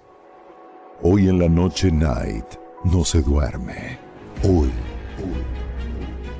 2007 aproximadamente. Trabajaba en una empresa de seguridad, me mandan a trabajar a... Me cambian de objetivo, me mandan a, a un edificio. Cuando llego era un ex centro de detención clandestino de la Fuerza Aérea, en la calle Virrey Ceballos en Constitución. Mi compañero me estaba esperando en la calle y cuando llegué me dijo, vos estás loco para quedarte acá la noche, yo no me quedo. Me dio una linterna, el libro de novedades y me quedé la noche. El edificio era viejo, antiguo, abandonado. Teníamos que cubrir para que no lo usurparan, nada más. El edificio estaba dividido en dos partes, pegadas en el frente muchas estampitas, muchas flores, muchas cartas gente desaparecida. Bueno, el edificio tenía su historia, ¿no? La primera noche la pasé bien, tranquilo, varias noches seguidas. Después, una noche, eh, como estaba solo, ahí el supervisor prácticamente no venía nunca, eh, me, armé, me armé una cama, me llevé una tele de esas chiquititas, tenía un colchoncito y me tiraba y dormía por la noche. Siempre bien y escuchaba algunos ruidos lejanos, pero no le daba importancia. La puerta se encontraba abajo, era el único, el único lugar de salida, era esa puerta que estaba abajo y yo estaba en el primer piso. Y bueno, me iluminaba ahí una luz de la calle que daba a la altura de la ventana. Y yo había enganchado un cable con un alargue y tenía luz ahí, un foquito y enchufaba la tele. Una noche decido apagar la, radio, la tele para poder dormir y empiezo a escuchar ruido cada vez más cerca, cada vez más cerca y bueno, lo primero que pensé fue entró el supervisor. Cuando me quedo mirando a la puerta para esperando que aparezca alguien porque yo sentía que venía caminando alguien y que estaba subiendo las escaleras. Era una persona subiendo las escaleras, yo lo recuerdo. Tal cual, cuando el ruido llegó hasta la puerta, nunca apareció nadie. Esperé unos minutos, me levanté, miré y no había nadie. Me asusté mucho, me puse a rezar, alumbré con la linterna para abajo, no vi nada y bueno, y así escuché ruidos varias noches seguidas. Hasta que bueno, llamé al supervisor y le pedí que me cambiara el servicio porque yo a ese servicio no quería volver. Después de un tiempo, de unos meses, eh, se enferma el de la noche y me mandan a cubrir ahí. Y la primera noche que llego ahí me pasó exactamente lo mismo. De vuelta los pasos subiendo la escalera, me asusté muchísimo y bueno, no, no, no volví más. No volví más porque escuchaba muchos ruidos, cosas que se golpeaban y, alguien que subía, alguien que subía las escaleras. Soy Dani de Lonchal, esa fue mi historia. Eh, la viví la viví muy, muy apasionada porque eh, si bien eh, me dio mucho miedo, también me dio mucha intriga. Te agradezco mucho, el programa está buenísimo.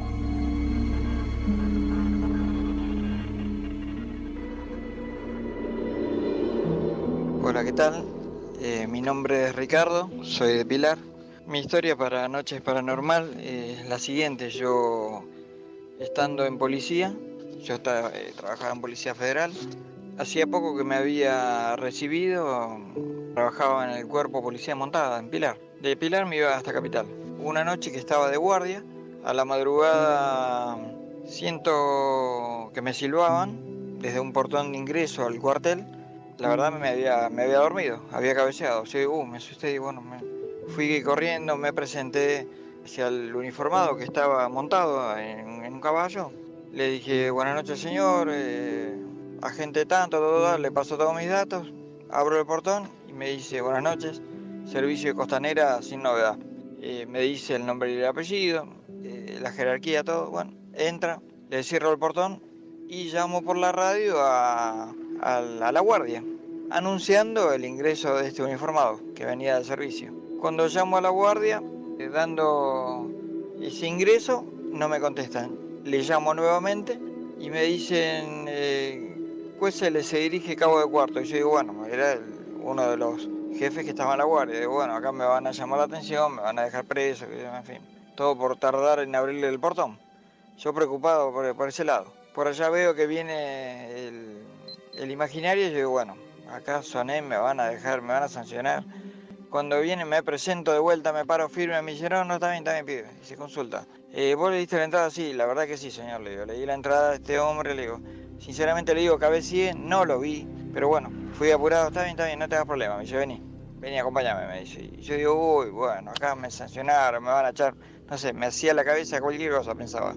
Fuimos, recorrimos las calles de las caballerizas, no había nadie, absolutamente nadie. Y agarré y me dice, mira, pibe, Dice, queda tranquilo, me dice, la persona que vos le diste la entrada es un hombre que hace años murió acá en el cuartel. Yo la verdad que medio me sonreí, pensé que me estaba cargando, pero había sido verdad.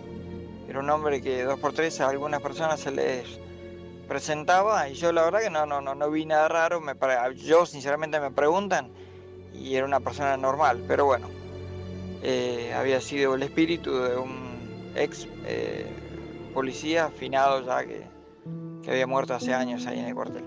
Esa es mi historia. Muchas gracias y bueno, un saludo a toda la radio.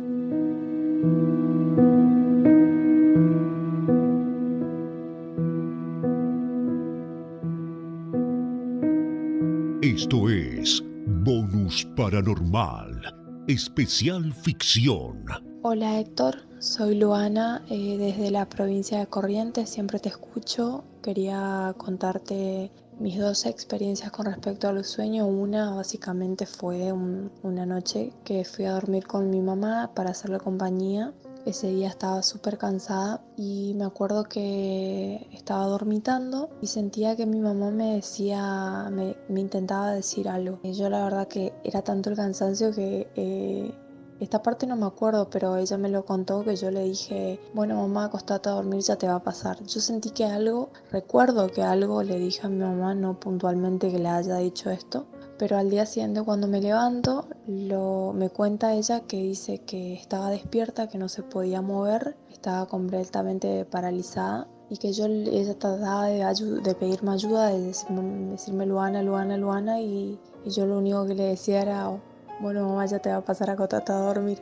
Esa fue una y la otra fue que básicamente me acosté a dormir y recuerdo que, que me estaba viendo yo misma durmiendo, que es algo más o menos lo, lo que habían comentado el programa anterior, en donde me estaba viendo yo que me dormía e intentaba con todas mis fuerzas volver a levantarme, a despertarme e incluso durante ese proceso la vi a mi mamá que ingresó a mi habitación y cuando logré despertarme le pregunto si, si ella había ingresado a la habitación a buscar una, una ropa que estaba en la cama y me dijo que sí, que cómo me, me di cuenta si yo estaba durmiendo. Así que la verdad que fue todo muy loco.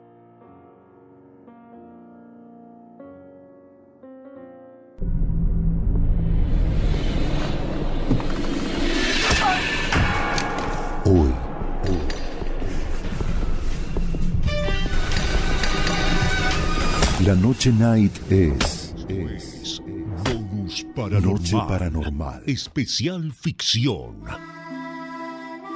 Es el bonus track paranormal. En vivo estamos y usamos numeral vivo paranormal. Numeral vivo paranormal.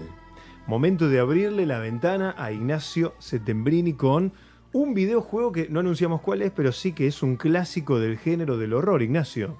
Exactamente, es un clásico del género de horror y hasta podría decirse que lo definió. Porque desde que se crearon los videojuegos hubo maneras de adaptar esa sensación del, del miedo. No se pudo hacer eh, por el tema de las limitaciones, sino que daban tal vez más de acción, como el caso de Castlevania. Hubo casos que rozaban el miedo, como fue Clock Tower, pero el género se definió en los 90 con- en la PlayStation 1 con dos clásicos. Uno de ellos es Resident Evil y el otro es el que vamos a hablar hoy, que es Silent Hill. Hermoso. La leyenda. Hermoso. Hermoso juego, dice. Sí. ¿De qué trata Silent Hill? ¿Cómo empieza la historia? Silent Hill cuenta la historia de Harry, Harry Manson. Este, junto con su esposa, hace muchos años encontraron una, una bebé, una niña, abandonada en medio del- de la calle. Decidieron, decidieron adoptarla y la llamaron Shelly. ¿no? Ujú. Esta niña cuando cumplió 7 años, su madre falleció y empezó a tener sueños con un extraño lugar, ¿no? Con un pueblo. A tal punto que los empezaba a dibujar y se obsesionaba. Este pueblo era Silent Hill. Entonces Harry, desesperado, no, no se le ocurre mayor idea que llevársela hasta allá. Era un recorrido largo. En medio de la ruta, sufre un accidente de tráfico y cuando despierta, nota que su hija ya no está. La va a buscar y llega a un pueblo fantasma donde no había nadie, con una niebla tan. tan. ¿cómo se Espesa. Densa, espesa, sí, tan espesa. espesa, densa, que no podías ver más de dos metros de vos. Allá ve una figura de una chica muy parecida a su hija, ¿no? Una niña. Y la, y la va a perseguir. Y acá empieza una de las escenas de todos los juegos de horror más clásicas de que ha asustado más de uno. Harry persigue a esa sombra con forma de su hija hasta un callejón. El callejón empieza a oscurecer, mientras más avanzás, más oscuro se va haciendo como si fuera de noche. Hasta que llegas al fin, te das cuenta que no, no, no tiene otro lado, sino que termina en un paredón. Y ves a alguien cruci- crucificado. Cuando no sabes qué es eso, te das vuelta para irte. Y ves como unos pequeños monstruos con manos largas empiezan, te agarran lo- las piernas y te tiran y te desmayas. Y la pantalla se vuelve negra. Bueno, esa escena aterró a miles de niños Sí. en aquella época. Era un juego que no es para chicos, ya lo digo. A partir de eso, eh, Harry va a hacer un, un recorrido por todo el pueblo, por el pueblo de Silent Hill. Ah, perdón, no lo dije, ese es el pueblo de Silent Hill. Un pueblo cuya historia es, eh, es eh, un misterio. A medida que avanza el, el juego, a medida que él va recorriendo los lugares como el colegio, el hospital, varias tiendas, descubre que ese pueblo hace muchos años era un lugar turístico. Un lugar donde había, venía mucha gente por eh, los paisajes, lo tranquilo que era. Que había tráfico de drogas, que había algunos acentos turbios y que había señales de una religión desconocida. Ajá. No era judaísmo, no era cristianismo, era algo que no, no se sabía bien. Obviamente Harry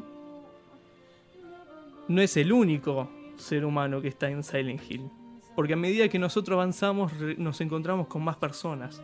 Gente atrapada ahí porque no podía salir de ese pueblo porque todas las calles estaban cortadas. Es como si un temblor partiera todos los ingresos del pueblo. Estos son un agente de policía civil que trabajaba en el pueblo más cercano de Silent Hill, que quedó atrapada ahí. Otra es Lisa, una enfermera que no puede salir del hospital. El otro es el doctor Kaufman, que lo veremos por todo el pueblo. Y por último estaría Dalía, llamada la loca del pueblo. Lisa nos, nos cuenta en una ocasión que el pueblo, eh, la gente joven empezaba a irse y los adultos empezaron a delirar que los dioses lo habían llamado. Ahí descubrimos que la gente de Silent Hill empezaba a rezarle a un dios, a un dios llamado Samael, cuya figura es muy parecida a la de un demonio. Es un demonio. Es un demonio, exactamente. Nos enteramos que Dalía, que durante todo el juego nos ayudaba para salir del pueblo, en verdad nos estaba engañando, puesto que ella usó a su hija, su hija llamada Alesa, la cual nació con poderes mentales, ¿no? Para que trajera a la tierra a Samael dentro de su útero. Lisa, negando todo, no queriendo saber nada acerca de traer a, a- a Dios, entre comillas, sabemos que es un demonio, se intenta suicidar y se prende fuego. Estamos hablando de 17 años tendría. Obviamente el culto no iba a dejar que se muera ahí. Entonces le internó en el hospital y mediante ritos no le dejaba morir. Ajá. ¿Quién cuidaba de, de Alexa? Lisa, la enfermera, que no sabía nada, sino que la drogaban para que no, no se revelara. Ujú. Alesa, ante esto, lo que hizo fue dividir su alma entre dos. Una parte de alma, su conciencia, quedó en Silent Hill y es la que crea esa niebla, la que crea los monstruos que nos recorremos en el juego y es la que tormenta a la gente que va ahí junto con la de Samael, ¿no? Son Sí. las dos mentes. Otra, otra alma reencarnó en forma de niña y es la hija que encontró Harry y su mujer Sí. en, en la calle. Entonces lo que quería su lo que hacía su hija nomás era juntar las dos partes Las del dos alma. partes. Del alma, exactamente. A medida del juego vamos viendo historia de Alesa, cómo fue maltratada en el colegio, cómo su madre la obligaba a hacer cosas que no quería. Y vemos cómo el pueblo mismo se va transformando de un lugar tranquilo y con mucha niebla a un lugar de pesadilla, Con todo color ocre de óxido, pisos metalizados y una negrura, una noche que no, no deja ver ni tus propias manos. Es aquí cuando llegamos al final del juego, el cual el final se divide en dos. A ver. Depende de las, las cosas que vos hagas en el juego, vas a tener dos finales. Un final bueno y un final malo. Procedo por el malo. Empieza con el por el bueno. El tema que el bueno es el verdadero. Ok, entonces empezó por Sí. el malo. El malo. En el malo, Alessa y, y, y Cheryl se juntan y Samael las posee. Entonces Harry lo que tiene que hacer es matarlas. Uy, Dios. Terrible. Después de eso, nos enteramos que Harry había muerto en el accidente de tráfico al principio del juego. Sí. Y que él solo era un alma más atrapada en Silent Hill. sí, sí, porque claro. todos los personajes que nos encontramos en el juego, menos la gente civil, son almas perdidas. Perdidas. Como en el limbo. Espíritus errantes, para, como dice Acuña. atados. Y al final bueno habla de que Alessa puede desprender lo- lo- la parte. Samael de ella y reencarna a Samael, lo cual obviamente lo matamos en la batalla final. Y ahí mismo Alessa engendra una niña, una bebé, la cual le pide a Harry que, que la cuide, como él cuidó a Sherry. Claro. Y nada, y, y ahí Harry por fin puede salir de Silent Hill junto con la oficial eh, civil. Qué fuerte la historia, loco. Seguramente lo jugaste y los que no lo sintieron nombrar y ya están buscando el juego para poder, este, esta misma noche después del programa, experimentar algo de todo esto. Hay una escena que, tra- que trajiste, Ignacio. ¿De qué trata? Esa escena eh, eh, trata de Lisa, la enfermera, dándose cuenta de que ella está muerta y que es un alma atrapada en el hospital de Silent Hill y que no podrá salir de ahí nunca más. Está en inglés, los que sepan inglés la van a entender y los que no, quédense con los tonos al hablar, que también hablan. Lisa, what's the matter with you? I get it now. Why I'm still alive even though everyone else is dead. I'm not the only one who's still walking around.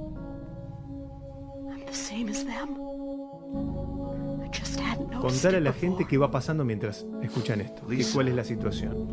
Bueno, se encuentra en el, Stay en by el me, Harry. hospital, el hospital en forma pesadilla, todo oscuro, todas las paredes llenas de óxido, el piso de metal.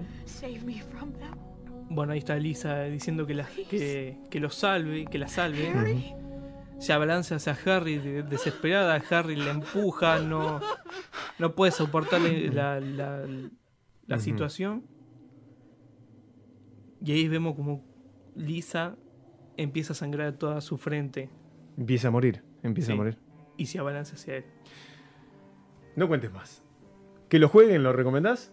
Lo recomiendo mucho, es una de las es uno de los mejores juegos y es una de las mejores sagas que hay en los videojuegos de horror. Y si la gente le gusta, voy a hablar de las demás secuelas, hablando principalmente de Silent Hill 2, que es considerado como el mejor juego de terror de toda la historia. Mamita querida. Mamita querida. Bueno, te escriben en Twitter como, Ignacio. Como I Setembrini, Setembrini con doble T, M y B larga. Y quería invitarlos todos mañana al la- el Festival de Cine La Cripta, el festival de cortos de terror y ciencia ficción de, de Florencio Varela. ¿A qué hora? Eh, si mal no recuerdo, es a las 7 y media. Siete y media de la Sí. tarde. Salen y escuchan a Disco Bizarro. Muy bien, escucha, que te, que te escriban en tu Twitter y escribilo por ahí también. Sí, voy a compartir ¿Eh? un flyer y todo. Así lo siguen. Sí, me dejás también, quería Sí, hablar obvio. de. Porque este juego, como fue tan famoso, tuvo varias adaptaciones a varios medios. Una de ellas es la famosa película Silent Hill. Que a mí personalmente mucho no me copó. Ujú. Pero está bien, representa un poco bien lo que es la esencia. Y otro es otro juego que se llama Shader Memories, que es una especie de reinvención del primero. Se hizo, sacó para PlayStation 2. Es- hablo porque es cortito, es el. Silent Hill 1, pero tiene un agregado interesante que es que a medida que vos avanzás el juego te va haciendo un test psicológico. Uy, qué bueno. Entonces cuando vos lo terminás, te tiene una ficha de tu personalidad. O sea, Te te, puede dice, te sorprender. dice cómo sos Me y encantó. cómo enfrentas tales situaciones. Es buenísimo. ¿Cómo se llama? Es Silent Hill, perdón por el migre- inglés, Shattered Memories. Lo voy a compartir. Dale, compartilo. Dale. Gracias, Ignacio. Gracias a vos. Se quedan con nosotros, ya venimos.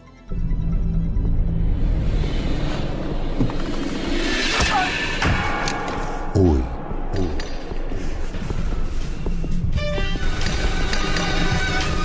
la noche night es, es, es noche paranormal. Esta noche no se duerme. Hoy, la noche night es noche paranormal. Bonus paranormal en vivo hasta la una de la mañana. En Twitter, numeral vivo paranormal. Numeral vivo paranormal. Y este es el momento de Horacio Alejandría. Sí, señor. Que hoy nos traes otra película del cine de terror retro. Más allá de que se hicieron remakes, vas a hablar de la original. De la del 82, 1982 para Poltergeist, que es una producción de Steven Spielberg y que abrió paso para él en la producción cinematográfica. Porque tuvo un gasto de un poco más de 10 millones de dólares y recaudó 121 millones. No, qué locura. Por eso después hubo Poltergeist 2, 3 y hubiera podido seguir, pero bueno, sabemos que hizo otras cosas además. ¿no? Espera, y probablemente sirvió de financiamiento el éxito de esa película para otras películas, Seguro. ¿no? Sí, una carta de presentación de él, ¿no? Una película maldita, hay que decirlo también. Sí, una saga maldita porque hay cuatro muertes a lo largo de esa historia con algún perfil violento y extraño, ¿no? De hecho, la gente se muere por cualquier causa, pero relacionado con la película Claro. y situaciones de grabación, de escenas o de es- escenarios que utilizaron y se emprendieron fuego inexplicablemente, o objetos que desaparecieron, parecía que alguien era gracioso dentro del plantel de la gente que filmaba. Sin embargo, algunos dicen que era leyenda y otros prefirieron no seguir hablando del tema, por lo cual te deja una gran duda. Prefiero callarme, dicen, porque no me no quiero que me pasen cosas a mí también. ¿Y de dónde, de dónde viene la historia de Poltergeist? Digo, ¿qué cuenta eh, esa historia? El título difícil, dirían las abuelas, ¿no? Deriva de una palabra alemana que es poltergeist, sería hacer ruido es polter y geist es espíritu. O sea, todo tipo de espíritu que haga una clase de ruido o movimiento. Bien. y pasa por ahí, pero una de las bases de, de- de la formación de esa palabra tiene que ver con espíritus que han muerto en condición de ira, Ajá. ¿no? Con- o sea, muertos que han caído bajo el efecto de una pelea, de una angustia, no por una enfermedad y muertos en un hospital, sino Claro. la ira dominando su paso de un nivel al otro. Gente que no murió en paz. Gente ¿no? que no murió en paz. Y en esta historia que aparenta ser una típica familia americana que se, está radicada en California, en un emprendimiento nuevo, del cual el hombre de la pareja, Steven, es eh, un empleado inmobiliario. Él vive en el mismo barrio que vendiendo, ¿no? Y le muestran las casas a uno, a los otros. Y el nudo del conflicto pasa cuando uno de sus tres hijos, la más chica, mm, a la noche se instala frente al televisor y empieza a hablar con la estática del televisor, porque el televisor ya estaba apagado. Tenemos que dar el contexto de esto es previo al cable, previo a internet, donde la tele de aire, esto pasaba también en Argentina, una vez que se terminaba la transmisión, se apagaba el equipo transmisor y se veía lo que vulgarmente llamamos lluvia, ¿no? La lluvia, sí. ningún canal sintonizado, exactamente, esto. Una lluvia horizontal que no tenía nada. Y a la noche siguiente repite la experiencia, Caroline, la nena, y y en la imagen aparece una especie de monstruo de los que los chicos han nombrado en, la- en los juegos y en los videogames, Ujú. pero este es un monstruo de verdad y que se va de la pantalla de la- del televisor hacia la pared. Y desaparece ahí misteriosamente y ella habla y dice ellos están acá La nenita. la nenita que se llama la actriz se llama Heather Rourke y que bueno la cuarta de, las de las muertes de esta saga es la de ella La, precisamente la nenita, Sí. lamentablemente, ¿no? Yo tenía 12 años cuando le ocurre. Y bueno, este matrimonio se encuentra ante situaciones de vasos que se rompen, cubiertos que se doblan, sillas que se montan en un- sobre una mesa al darse vuelta y al volver están cambiadas de lugar. Y la madre aterrada. Son tres hermanos los, de los- los hijos de esa familia. Y a la mayor, el varón del medio y la nenita. Al varón, un árbol lo devora. Un árbol lo devora. Sí, y los padres tratando de luchar para salvarlo de esta situación que no era cuidado Claro. con el perro del vecino o algo por el estilo, ¿no? Claro. Entonces empiezan a inquietar hasta que llega un punto en que la nena, en su contacto con, con esta experiencia paranormal, eh, ellos se ven en la necesidad de alejar a los hijos, pero mantenerla a ella porque la relación de, esta, eh, eh, de estas personas tan Ujú. extrañas, de, de estos espíritus malignos, era con la nena. La, la chiquita era una especie de portal. Claro. O había abierto un portal, ¿no? Exactamente. Y traen un grupo de parapsicólogos, con uno de ellos que es una actriz muy especial, eh, hasta en su aspecto físico. Y el personaje se llama Tangerine. Y dice que en medio de todos esos, esos seres que están dando vueltas alrededor de la, de la nena de la familia, hay uno en especial que es la bestia, que es el principal de ese grupo. Y bueno, sigue toda esa saga de, de experiencias alrededor de la nena y, y- y las cosas que se mueven solas. Pero el mismo padre de la familia, hablando con su jefe, descubre que hicieron el, lo que sería ahora un barrio privado, lo hicieron sobre un cementerio.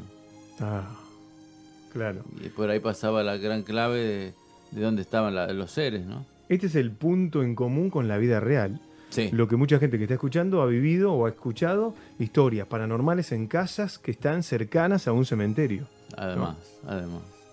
Y ante esta situación mantienen una lucha muy extraña, ¿no? Porque el enemigo no está realmente de, frente a ellos. Claro. Una lucha desigual. Sí. Y, y lo que pasaba mientras iban filmando era también lo, lo que te aterraba, ¿no? Porque la gente se enganchó con Poltergeist 1, Poltergeist Ujú. 2. Tienen un final más o menos claro para la primera, pero después te, qued- claro, te la dejan picando para una segunda parte, Ujú. si es que ocurría y ocurrió. Pero se muere gente en el camino. Lo fuerte es eso, ¿no? Los protagonistas, la protagonista de la película murió. La nena murió. Sí, fue la cuarta. La primera que murió es la hermana mayor. Sí. Que a los cuatro meses de filmar Poltergeist 1, el marido, el novio, marido, como quieras denominarlo, la estrangula. Ya muere en una condición no natural. Uno de los actores que hace un sacerdote se enferma en el transcurso de la, de la película, tiene un cáncer estomacal, aprovechan hasta su estado para definir la, la- la Ujú. posesión del personaje y se muere en el transcurso de la filmación. En medio del rodaje muere. Sí. Y un tercer personaje que hacía una- em, como que rescataba a un, indio de, de ese cementerio también sufre una muerte violenta y bueno, y la que culmina es la nena. La nena tenía ya 12 años, Heather Rourke, la, la- la verdadera actriz, la- que era la nenita de Poltergeist 1 y ya estaban terminando la 3 Ujú. y los médicos no le encuentran la vuelta a, a por qué tenía esos dolores de estómago ya cuando estaba filmando la 3. Iban y venían, iban y consultaban, interconsultas y no le encontraban la vuelta. Una estenosis estomacal, una cosa para aquella época rara de identificar y rara de producirse en una chica de 12 años. Que murió. ¿Qué murió? Hubo otra protagonista que tomó su lugar. No. ¿No? No. Ah, mira, no sabía eso. Completaron esa parte y se... O sea que se llegó a rodar hasta el último minuto con ella. Sí. Alguna escena quisieron hacerla, modificarla, y dicen, no, no, no, no tenemos, tenemos lo que nos quedó Claro. de la no edición y lo incorporamos acá y lo tenemos ahí. Como Y- para definir el... Qué fuerte, eh. Ahí terminó la, la saga. Hablando de escenas, ¿cuál es la escena que vamos a compartir? Es la de Tangerine, la parapsicóloga, que tiene una voz, bueno, en la traducción también está muy bien hecha, tenemos la versión en español, te transmite toda la, la duda y la, la tensión de un, de un parapsicólogo ¿no? ante estas situaciones tan difíciles de desentrañar para la gente común. Subí el volumen, escucha. Tengo que prevenirles. Hay algo más. Ahí con ella hay una terrible presencia. Con mucha ira, con mucha rabia. Nunca había percibido nada igual. No sé lo que se cierne sobre esta casa, pero ha sido lo suficientemente fuerte como para adentrarse en este mundo y llevarse a su hijo. Consigue mantener a Caroline muy cerca de él y alejada de la luz espectral. Le miente a ella. Dice cosas que solo un niño puede comprender. La ha estado utilizando para reprimir a los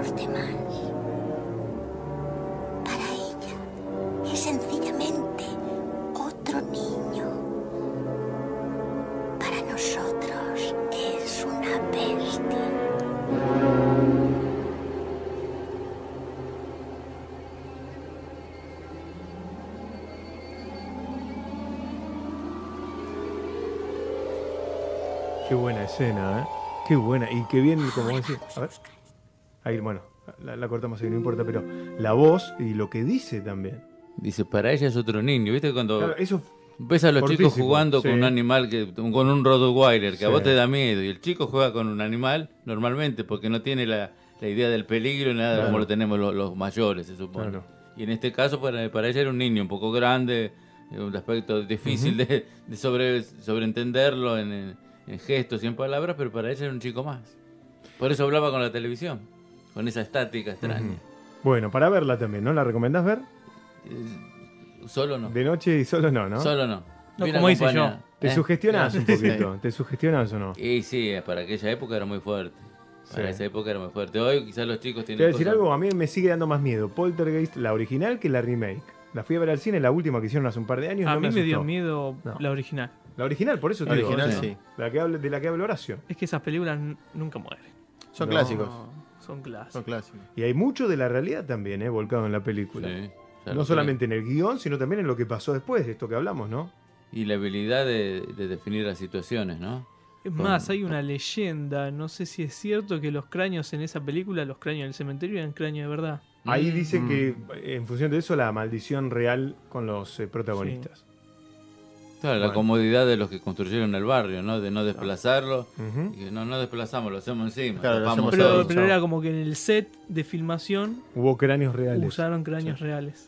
Bueno, para verla entonces, si se animan, numeral vivo paranormal, lo que quieran comentar, con fotos o con lo que sea. Numeral vivo paranormal. Y a Horacio, ¿cómo lo siguen en Twitter? Arroba Alejandría 1955. Arroba Alejandría1955 y Facebook te encuentran como Horacio Alejandría. Horacio Alejandría. Gracias, Horacio. No, gracias a ustedes. Sí, gracias a todos. Gracias, Ignacio, también, ¿eh?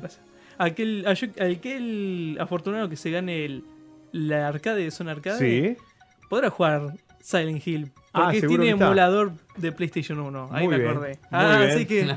Lo voy a jugar yo que lo tengo en casa. Es una muy buena recomendación. Buena Sí. recomendación. Gracias, Sebas, también. A ¿eh? vos, Héctor. ¿Semana que viene con qué venís entonces? Dormammu, villano de Doctor Strange. Bien, ¿con qué viene la semana que viene Ignacio? Si la gente pide mucho con Silent Hill 2, sino con posiblemente Hellblade. Bueno, que lo definimos en Twitter, te siguen arroba y setembrini. Dale. ¿eh? ¿Y Horacio con qué viene la semana que viene? ¿Lo tiene pensado? Lo tengo pensado, pero parodiando un poco lo que decía Sebastián. No nos durmamos. No, no, no. Se quedan con nosotros, ya venimos. Esta noche no se duerme. Hoy, la noche night es Noche Paranormal. Como siempre, gracias a los amigos de Buenos Aires Sex Shop, que es un nuevo concepto en diversión para adultos. Están en Florida 844, local 19, en Ciudad de Buenos Aires. Anotate el teléfono 4315 1469. 4315 1469. El WhatsApp es el 11 30 35 1197. 11 30 35 1197. Te atienden de lunes a sábados de 10 a 20 horas. No tengas vergüenza, ¿eh? Este es un buen horario también para meterse en la página web www.buenosairesexshop.com.ar. Hacen envíos muy discretos a toda la Argentina. Son un equipo joven, sin prejuicios y dispuestos a asesorarte para que logres tu mejor experiencia. En Buenos Aires Sex Shop, tu deseo siempre se cumple. No tenés idea lo que podemos generar juntos.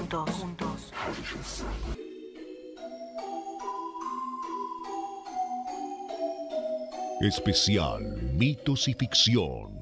Bonus Track Paranormal.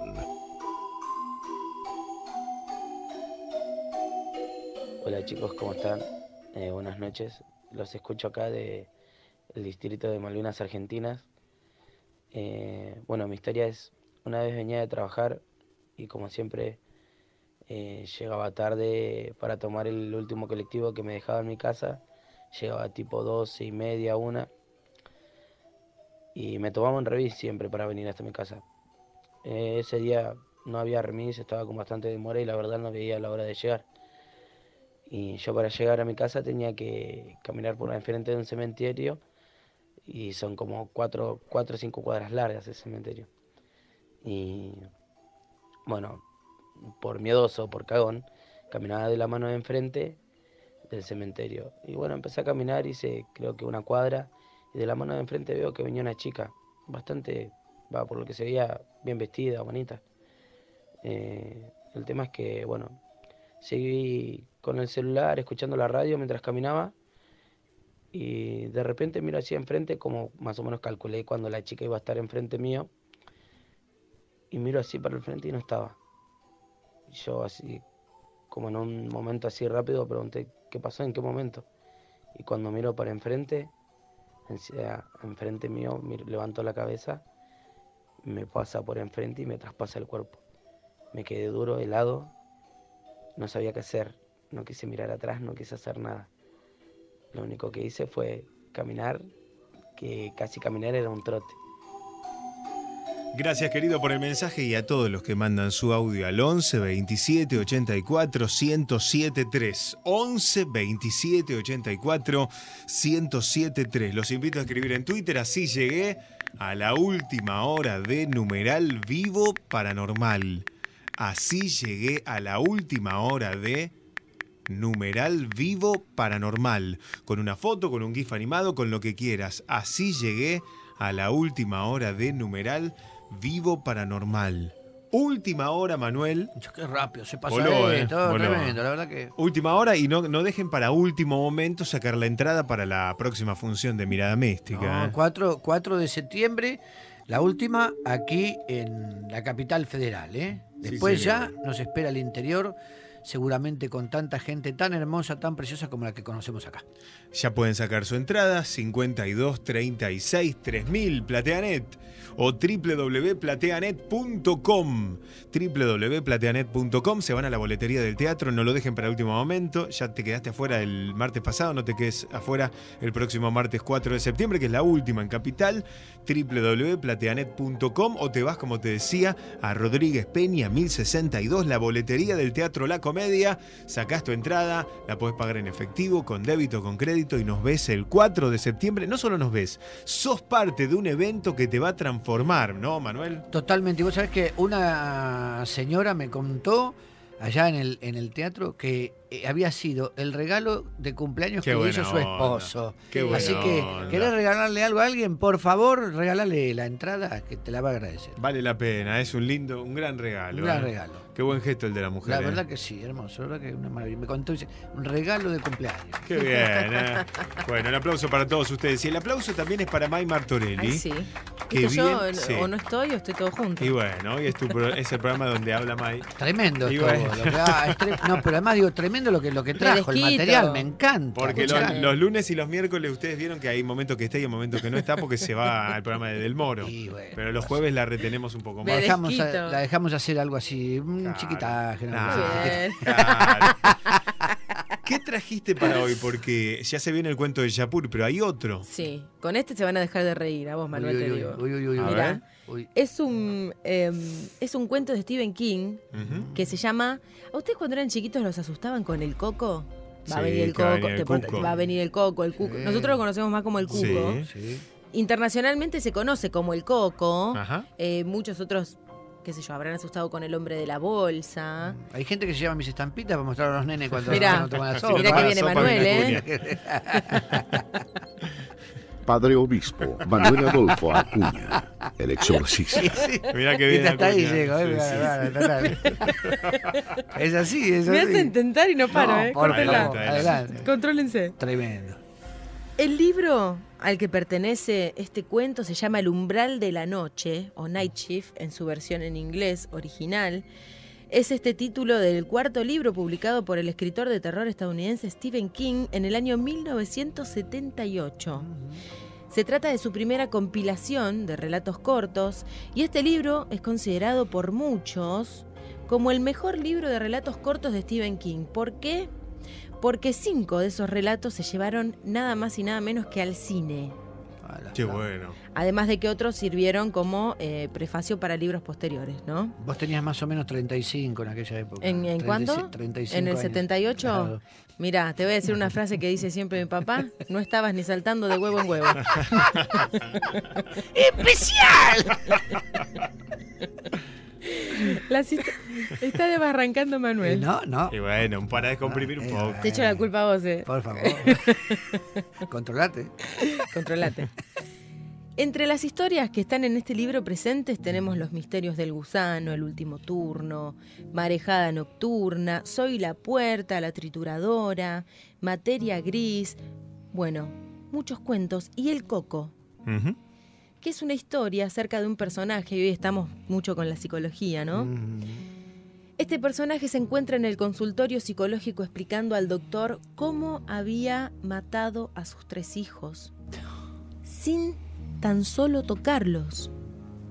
El coco se los llevó. El coco siempre fue una historia que inventaron los papás para asustar a sus hijos, decíamos recién, logrando que los niños les hicieran caso, casi como una amenaza. Eso creía el personaje de este cuento hasta que su hijo, de apenas dos años, se paró en la cuna llorando y sus primeras palabras fueron, El coco, papá, el coco, ayúdame.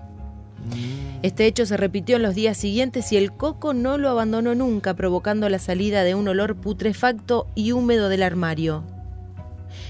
Aunque este solo tenía una rendija abierta, esto era todo lo que el coco necesitaba. Solo una rendija. Stephen King, El Coco. Subir el volumen. Recurre usted porque quiero contarle mi historia, dijo el hombre acostado sobre el diván del doctor Harper. El hombre era Lester Billings, de Waterbury, Connecticut. Según la ficha de la enfermera Vickers, tenía 28 años, trabajaba para una empresa industrial de Nueva York, estaba divorciado y había tenido tres hijos, todos muertos. No puedo recurrir a un abogado porque no he hecho nada que deba consultar con él. Lo único que hice fue matar a mis hijos, de uno en uno. Los maté a todos. El doctor Harper puso en marcha el magnetófono. Billings estaba duro como una estaca sobre el diván. Era una imagen de un hombre que se sometía a una humillación necesaria. Tenía las manos cruzadas sobre el pecho, como un cadáver. Sus facciones se mantenían escrupulosamente compuestas. Miraban el simple cielo raso, blanco, de paneles, como si por su superficie desfilaran escenas de imágenes. ¿Quiere decir que los mató realmente o...? No, pero fui el responsable. Denny en 1967. Shirl en 1971 y Andy este año. Quiero contárselo. El doctor Harper no dijo nada. Le pareció que Billings tenía un aspecto demacrado y envejecido. Su tez estaba pálida. Sus ojos encerraban todos los secretos miserables del whisky. Fueron asesinados, ¿entiende? Pero nadie lo cree. Si lo creyeran, todo se arreglaría. ¿Por qué? Porque... Billings se interrumpió y se irguió bruscamente sobre los codos, mirando hacia el otro extremo de la habitación. ¿Qué es eso? Sus ojos se habían entrecerrado, reduciéndose a tajos oscuros. ¿Qué es qué? Esa puerta. El armario empotrado, respondió el doctor Harper. Donde cuelgo mi abrigo, donde dejo mis chanclos. Ábralo, quiero ver lo que hay dentro. El doctor Harper se levantó en silencio, atravesó la habitación y abrió la puerta. Dentro, una gabardina marrón colgaba de una de las cuatro o cinco perchas. Abajo había un par de chanclos relucientes. Dentro de uno de ellos había un ejemplar cuidadosamente doblado del New York Times. Eso era todo. ¿Conforme? preguntó el doctor Harper. Billings dejó de apoyarse sobre los codos y volvió a la posición anterior. Decía que si se pudiera probar el asesinato de sus hijos, todos sus problemas se solucionarían. ¿Por qué? Me mandarían a la cárcel, para toda la vida. Y en una cárcel uno no puede ver lo que hay dentro de todas las habitaciones. Todas las habitaciones. Y sonrió a la nada. ¿Se puede saber cómo fueron asesinados sus hijos? No trate de arrancármelo por la fuerza. Billings se volvió y miró a Harper con expresión aviesa. Se lo diré, no se preocupe. No soy uno de sus chalados que se pasean por el mundo y pretenden ser Napoleón o que justifican haberse aficionado a la heroína porque la madre no los quería. Yo sé que no me creerá. No me interesa. No importa. Me basta solo con contárselo. Muy bien. El doctor Harper extrajo su pipa. Me casé con Rita, allá por 1965. Yo tenía 21 años, ella 18. Estaba embarazada. Ese hijo fue Denny. Sus labios se contorsionaron para formar una sonrisa gomosa, grotesca, que desapareció en un abrir y cerrar de ojos. Tuve que dejar la universidad y buscar un empleo, pero no me importó. Los amaba a los dos, éramos muy felices. Rita volvió a quedar embarazada poco después del nacimiento de Denny y Shirley vino al mundo en diciembre de 1966. Andy por último nació en el verano, allá en 1969, cuando Denny ya había muerto. Andy fue un accidente. Oh, por lo menos eso dijo Rita. Aseguró que a veces los anticonceptivos fallaban. Yo sospecho que fue más que un accidente. Los hijos atan al hombre, usted sabe. Eso le gusta a las mujeres, sobre todo cuando el hombre es más inteligente que ellas, ¿no le parece? Harper emitió un gruñido neutro. Pero no importa. A pesar de todo, yo los quería. Lo dijo con un tono casi vengativo, como si hubiera amado a los niños para castigar a su esposa. Ok. ¿Quién mató a los niños entonces?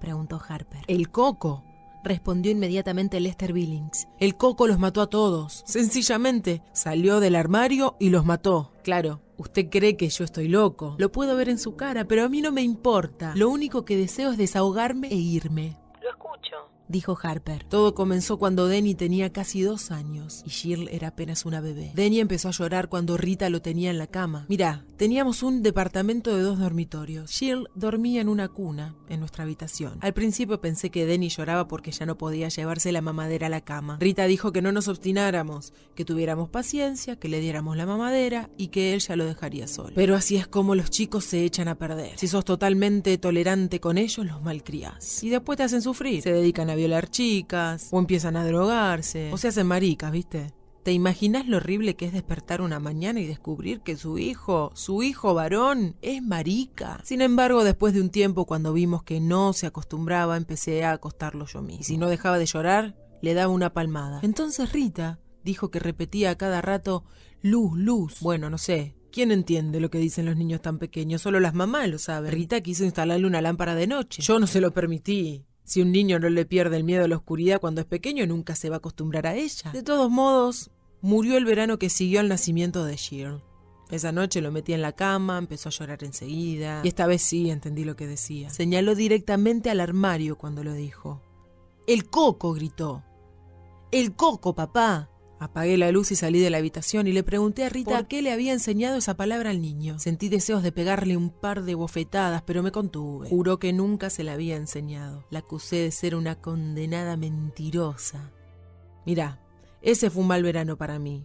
Solo conseguí que me dieran un laburo para cargar camiones de Pepsi allá en un almacén, ¿viste? Estaba siempre cansado. Jill se despertaba, lloraba todas las noches, Rita la tomaba en brazos y la otra gimoteaba y gimoteaba. Te aseguro que a veces tenía ganas de tirarlas a las dos por la ventana. Oh, Jesús. A veces los mocosos te hacen perder la chaveta. Podrías matarlos.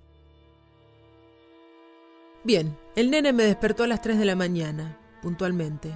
Fui al baño, medio dormido, ¿sabes? Y Rita me preguntó si había ido a ver a Denny. Le dije, hacelo vos. Y me volví a acostar. Estaba casi dormido cuando Rita empezó a gritar. Me levanté y entré en la habitación. El pibe estaba acostado boca arriba, muerto, blanco como la harina, excepto donde la sangre se había se había acumulado por el efecto de la gravedad. La parte posterior de las piernas, la cabeza, las las nalgas, tenía los ojos abiertos.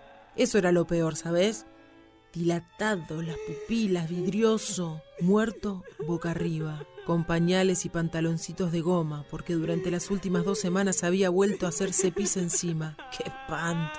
Yo lo amaba ese pibe. Billings meneó la cabeza lentamente y después volvió a ostentar la misma sonrisa gomosa, grotesca. Rita gritaba hasta desgarrarse. Lo trató de alzar a Denny. Trató de acunarlo, de mecerlo, pero no se lo permití. A la policía no le gusta que uno le toque la evidencia. Lo sé.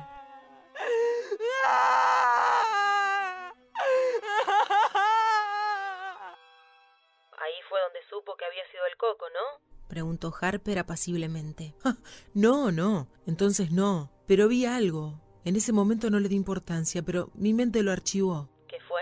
La puerta del armario estaba abierta. No mucho, ¿eh? Apenas una rendija. Pero yo sabía que la había dejado cerrada. Adentro había bolsas de plástico. Si un pibe se pone a jugar con una de las bolsas, se puede asfixiar, ¿sabías? Sí, sabía. ¿Y qué pasó después? Billings se encogió de hombros. Lo enterramos. Miró con morbosidad sus manos que habían arrojado tierra sobre tres pequeños ataúdes. ¿Hubo una investigación? Claro que sí. Los ojos de Billings centellaron con un brillo sardónico. Vino un médico agrandado con estetoscopio y un maletín negro lleno de chicles. Colapsó en la cuna, fue el diagnóstico. ¿Escuchaste alguna vez semejante disparate? Un mes después del funeral instalamos a Shirl en la antigua habitación de Denny. Rita se resistió con uñas y dientes, pero yo le dije, yo tengo la última palabra. Me dolió, por supuesto. Jesús, me encantaba tener a la moscosa con nosotros. Pero no hay que sobreproteger a los pibes, porque después se convierten en lisiados. Uno tampoco debe ser complaciente consigo mismo. La vida continúa. Jill pasó directamente a la cuna de Denny. Claro que tiramos el colchón viejo a la basura. Yo no quería que mi nena se llenara de microbios. Y así pasó un año. Una noche, cuando estoy metiendo a Shirley en su cuna, empieza a aullar y a chillar y a llorar otra vez el coco, papá, el coco. Eso me alertó. Decía lo mismo que decía Denny. Entonces me empecé a acordar de la puerta del armario que estaba entreabierta cuando lo encontramos. Quise llevarla por esa noche a nuestra habitación. ¿Y la llevó? No. Billings se miró las manos y las facciones se convulsionaron. ¿Cómo podía confesarle a Rita que me había equivocado? Yo tenía que ser fuerte. Ella había sido siempre una marioneta. Acuérdese con cuánta facilidad se acostó conmigo cuando todavía no estábamos casados, ¿eh? Por otro lado, recuerde con cuánta facilidad usted se acostó con ella. Dijo Harper. Billings, que estaba cambiando la posición de sus manos, se puso rígido y volvió lentamente la cabeza para mirar a Harper. ¿Vos me estás tomando el pelo? Claro que no.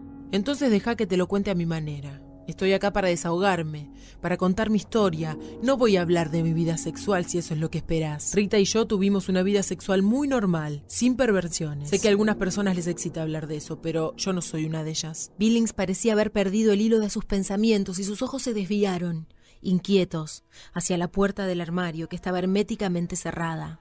¿Prefiere que la abra? Preguntó Harper.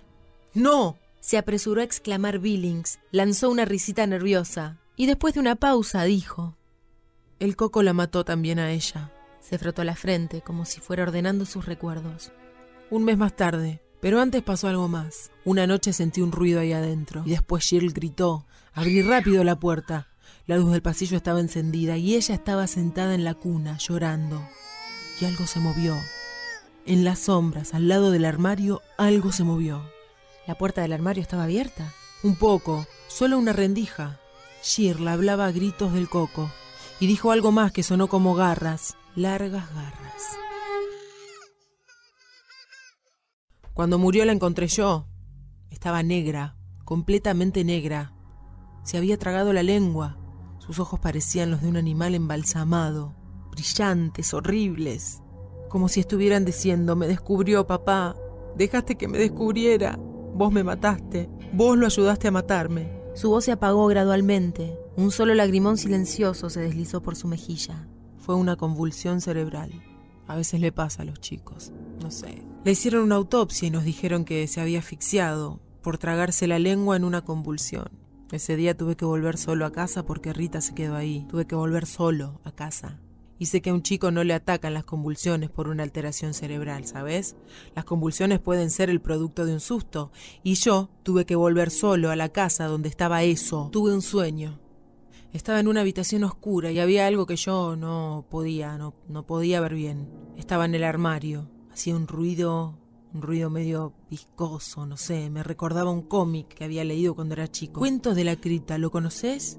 Oh, Jesús. Había un personaje capaz de invocar a los monstruos más abominables del mundo. De todos modos, en ese relato una mujer ahogaba a su marido, le ataba unos bloques de cemento a los pies y lo tiraba a una cantera inundada. Pero él volvía. Y estaba totalmente podrido. Tenía un color negro verdoso y los peces le habían devorado un ojo. Tenía algas enredadas en el pelo, así que volvía y la mataba. Y cuando me desperté en mitad de la noche pensé que lo encontraría inclinándose sobre mí, con garras, no sé, garras largas. El doctor Harper consultó su reloj digital embutido en su mesa. Lester Billings estaba hablando desde hacía casi media hora. Cuando su esposa volvió a casa, ¿cuál fue su actitud respecto a usted? Durante los primeros cuatro o cinco meses que siguieron a la desgracia estuvo bastante mustia. Arrastraba los pies por la casa, no cantaba, no miraba la tele, no se reía. Yo sabía que se iba a poner bien. Cuando los chicos son tan chiquitos uno llega a encariñarse tanto. Quería otro bebé. Le dije que no era una buena idea. No, de forma definitiva, no por un tiempo. Le dije que era hora de que nos conformáramos y empezáramos a disfrutar el uno del otro, que antes nunca habíamos tenido la oportunidad de hacerlo y si queríamos podíamos ir al cine, que se acuerde que si queríamos ir al cine teníamos que buscar una babysitter. No podíamos ir a la ciudad a ver un partido de fútbol. Porque mi mamá no quería tener trato con nosotros. Denny había nacido demasiado poco tiempo después que nos casáramos, ¿entendés? Mi mamá dijo, que Rita era una zorra. Una vez me hizo sentar y me recitó la lista de enfermedades que podía pescarme si me acostaba con una, una prostituta. El ginecólogo de Rita le vendió una cosa que se llama DIU. Le dijo que era re seguro. Sin embargo, el año siguiente estaba embarazada otra vez. Mira qué seguridad. Empieza a tejer prendas de bebé, canta bajo la ducha, come encurtidos como loca. Mierda. ¿Y el bebé nació al finalizar el año que siguió a la muerte de Jill? Claro, un varón. Le pusimos Andrew. Yo no quise tener nada que ver con él, por lo menos por el principio, y decidí que, ya que ella había decidido, tenía que arreglársela sola. Yo sé que esto puede sonar raro, feo, pero no se olvide que yo había sufrido un montón. Sin embargo, terminé por encariñarme, ¿sabes? Para empezar, era el único de la camada que se parecía a mí. Denny se parecía mucho a su mamá y Shirley no se parecía a nadie, excepto tal vez a la abuela, pero Andy era idéntico a mí. Cuando volvía de trabajar iba a jugar con él siempre. El año siguiente fue el mejor para nosotros. Vivíamos en una calle tranquila, con buenos vecinos. Éramos felices. Un día le pregunté a Rita si no estaba preocupada. Dicen que no hay dos sin tres. Y contestó que eso no se aplicaba a nosotros, que Andy era distinto, que Dios lo había rodeado con un círculo mágico y bla, bla, bla. Billings miró el techo con expresión morbosa. El año pasado no fue tan bueno. Algo cambió en la casa. Empecé a dejar los chanclos en el vestíbulo porque ya no me gustaba abrir la puerta del armario. Lo pensaba constantemente. ¿Y qué vas a hacer si está ahí adentro? Agazapado, listo para balanzarse apenas abras la puerta. Y entonces empecé a imaginar que escuchaba ruidos extraños, como si algo negro y verde y húmedo se estuviera moviendo apenas. Rita me preguntaba si no trabajaba demasiado, y empecé a insultarla como antes. Me revolvía el estómago dejarlos solos para ir a trabajar, pero al mismo tiempo me alegraba salir. Que Dios me ayude. Me alegraba salir. Mirá, empecé a pensar que nos había perdido durante un tiempo cuando nos mudamos. Un año le llevó, pero nos encontró. Este volvió, me dije. Quiere a Andy y me quiere a mí. Ahí empecé a sospechar que si quizás pensás mucho tiempo en algo y crees que existe, termina por hacerse real. Billings permaneció un largo rato callado. En el reloj digital pasaron dos minutos. Andy murió en febrero. Rita no estaba en casa. Había recibido una llamada de su papá. Su mamá había sufrido un accidente de autos un día después de Año Nuevo y creían que no se iba a salvar. Esa misma noche, Rita se subió al autobús. El nene dormía en la misma habitación que yo. Todo andaba bien mientras Rita estaba en casa, pero cuando ella se fue, eso se empezó a envalentonar. Así que lo mudé. Sabía que primero lo iba a ir a buscar a él, porque era el más débil, y fue así. La primera vez chilló, en la mitad de la noche. Y finalmente, cuando reuní los cojones suficientes para entrar, lo encontré de pie en la cama y gritando. El coco, papá. El coco, quiero ir con papá, quiero ir con papá. Pero no pude. No pude. Y una hora más tarde sentí una... Y me di cuenta que lo amaba mucho porque entré corriendo. No encendí la luz, ni siquiera. Corrí, corrí, corrí. Lo sacudía como un perro sacude un trapo y vi algo con unos repulsivos hombros encorvados y una cabeza de espantapájaros. Sentí un olor parecido al que despide un ratón muerto en una botella de gaseosa. Y oí Oí cómo se quebraba el cuello de Andy. Fue un ruido semejante al del hielo que se quiebra cuando uno patina sobre un estanque en invierno. Ah, me fui corriendo. Me fui a una cafetería que estaba abierta durante toda la noche. ¿Qué le parece? Qué cobarde, ¿no? Me metí en una cafetería. Me tomé seis tazas de café, después volví a mi casa. Llamé a la policía aún antes de subir el primer piso. Estaba tumbado en el suelo, mirándome, acusándome. Había perdido un poco de sangre por una oreja, pero solo una rendija. Le mentí a la policía, ¿sabe? Dije que probablemente se había tratado de bajar de la cuna a la noche y se lo tragaron. Claro que se lo tragaron, eso era lo que parecía. Un accidente, como los otros. Pero Rita entendió la verdad. Rita entendió finalmente. Señor Billings, tenemos que conversar mucho. Creo que podremos eliminar parte de los sentimientos de culpa, pero antes tendría que desear realmente librarse de ellos. ¿Qué pasa? ¿Te crees que no lo deseo? Aún no. ¿Quiere venir martes y jueves? Maldito curandero. Está bien, está bien. Pídale hora a la enfermera, señor Billings. Adiós. Billings soltó una risa hueca y salió rápidamente de la consulta sin mirar atrás. La silla de la enfermera estaba vacía. Sobre el secante del escritorio había un cartelito que decía vuelvo enseguida. Billings se volvió y entró nuevamente a la consulta. Doctor, su enfermera... Pero la puerta del armario estaba abierta, solo una pequeña rendija. Qué lindo, dijo la voz desde el armario. qué lindo. Las palabras sonaron como si hubieran sido articuladas por una boca llena de algas descompuestas. Billings se quedó paralizado donde estaba mientras la puerta del armario se abría. Tuvo una vaga sensación de tibieza en el bajo vientre cuando se orinó encima. Qué lindo. Dijo el coco mientras salía arrastrando los pies. Aún sostenía su máscara del doctor Harper en una mano podrida de garras espatuladas. Hoy en la noche Night no se duerme. Hoy. La noche Night es Noche Paranormal. Héctor Rossi y el obispo Manuel Acuña. Noche Paranormal en la noche Night.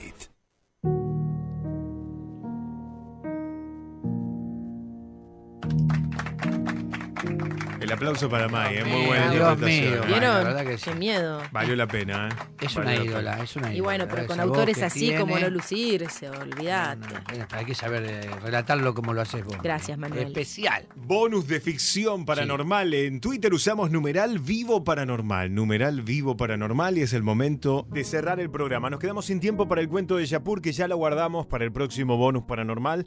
Mucho contenido, mucho programa. Gracias a vos por estar del otro lado. Somos. Trending Topic en Argentina, ¿eh? Muy como bien, siempre, gracias. como todas las noches. Gracias. Gracias totales. Numeral vivo paranormal. Pueden seguir tuiteando y retuiteando durante la madrugada. Sí, hasta el mediodía de mañana, ¿eh? Sí, señor. Claro que sí. Y es el momento, como decimos siempre, de ponerle un fin, un broche de oro, y viene de tu mano con la bendición. Y hablo de Manuel Acuña.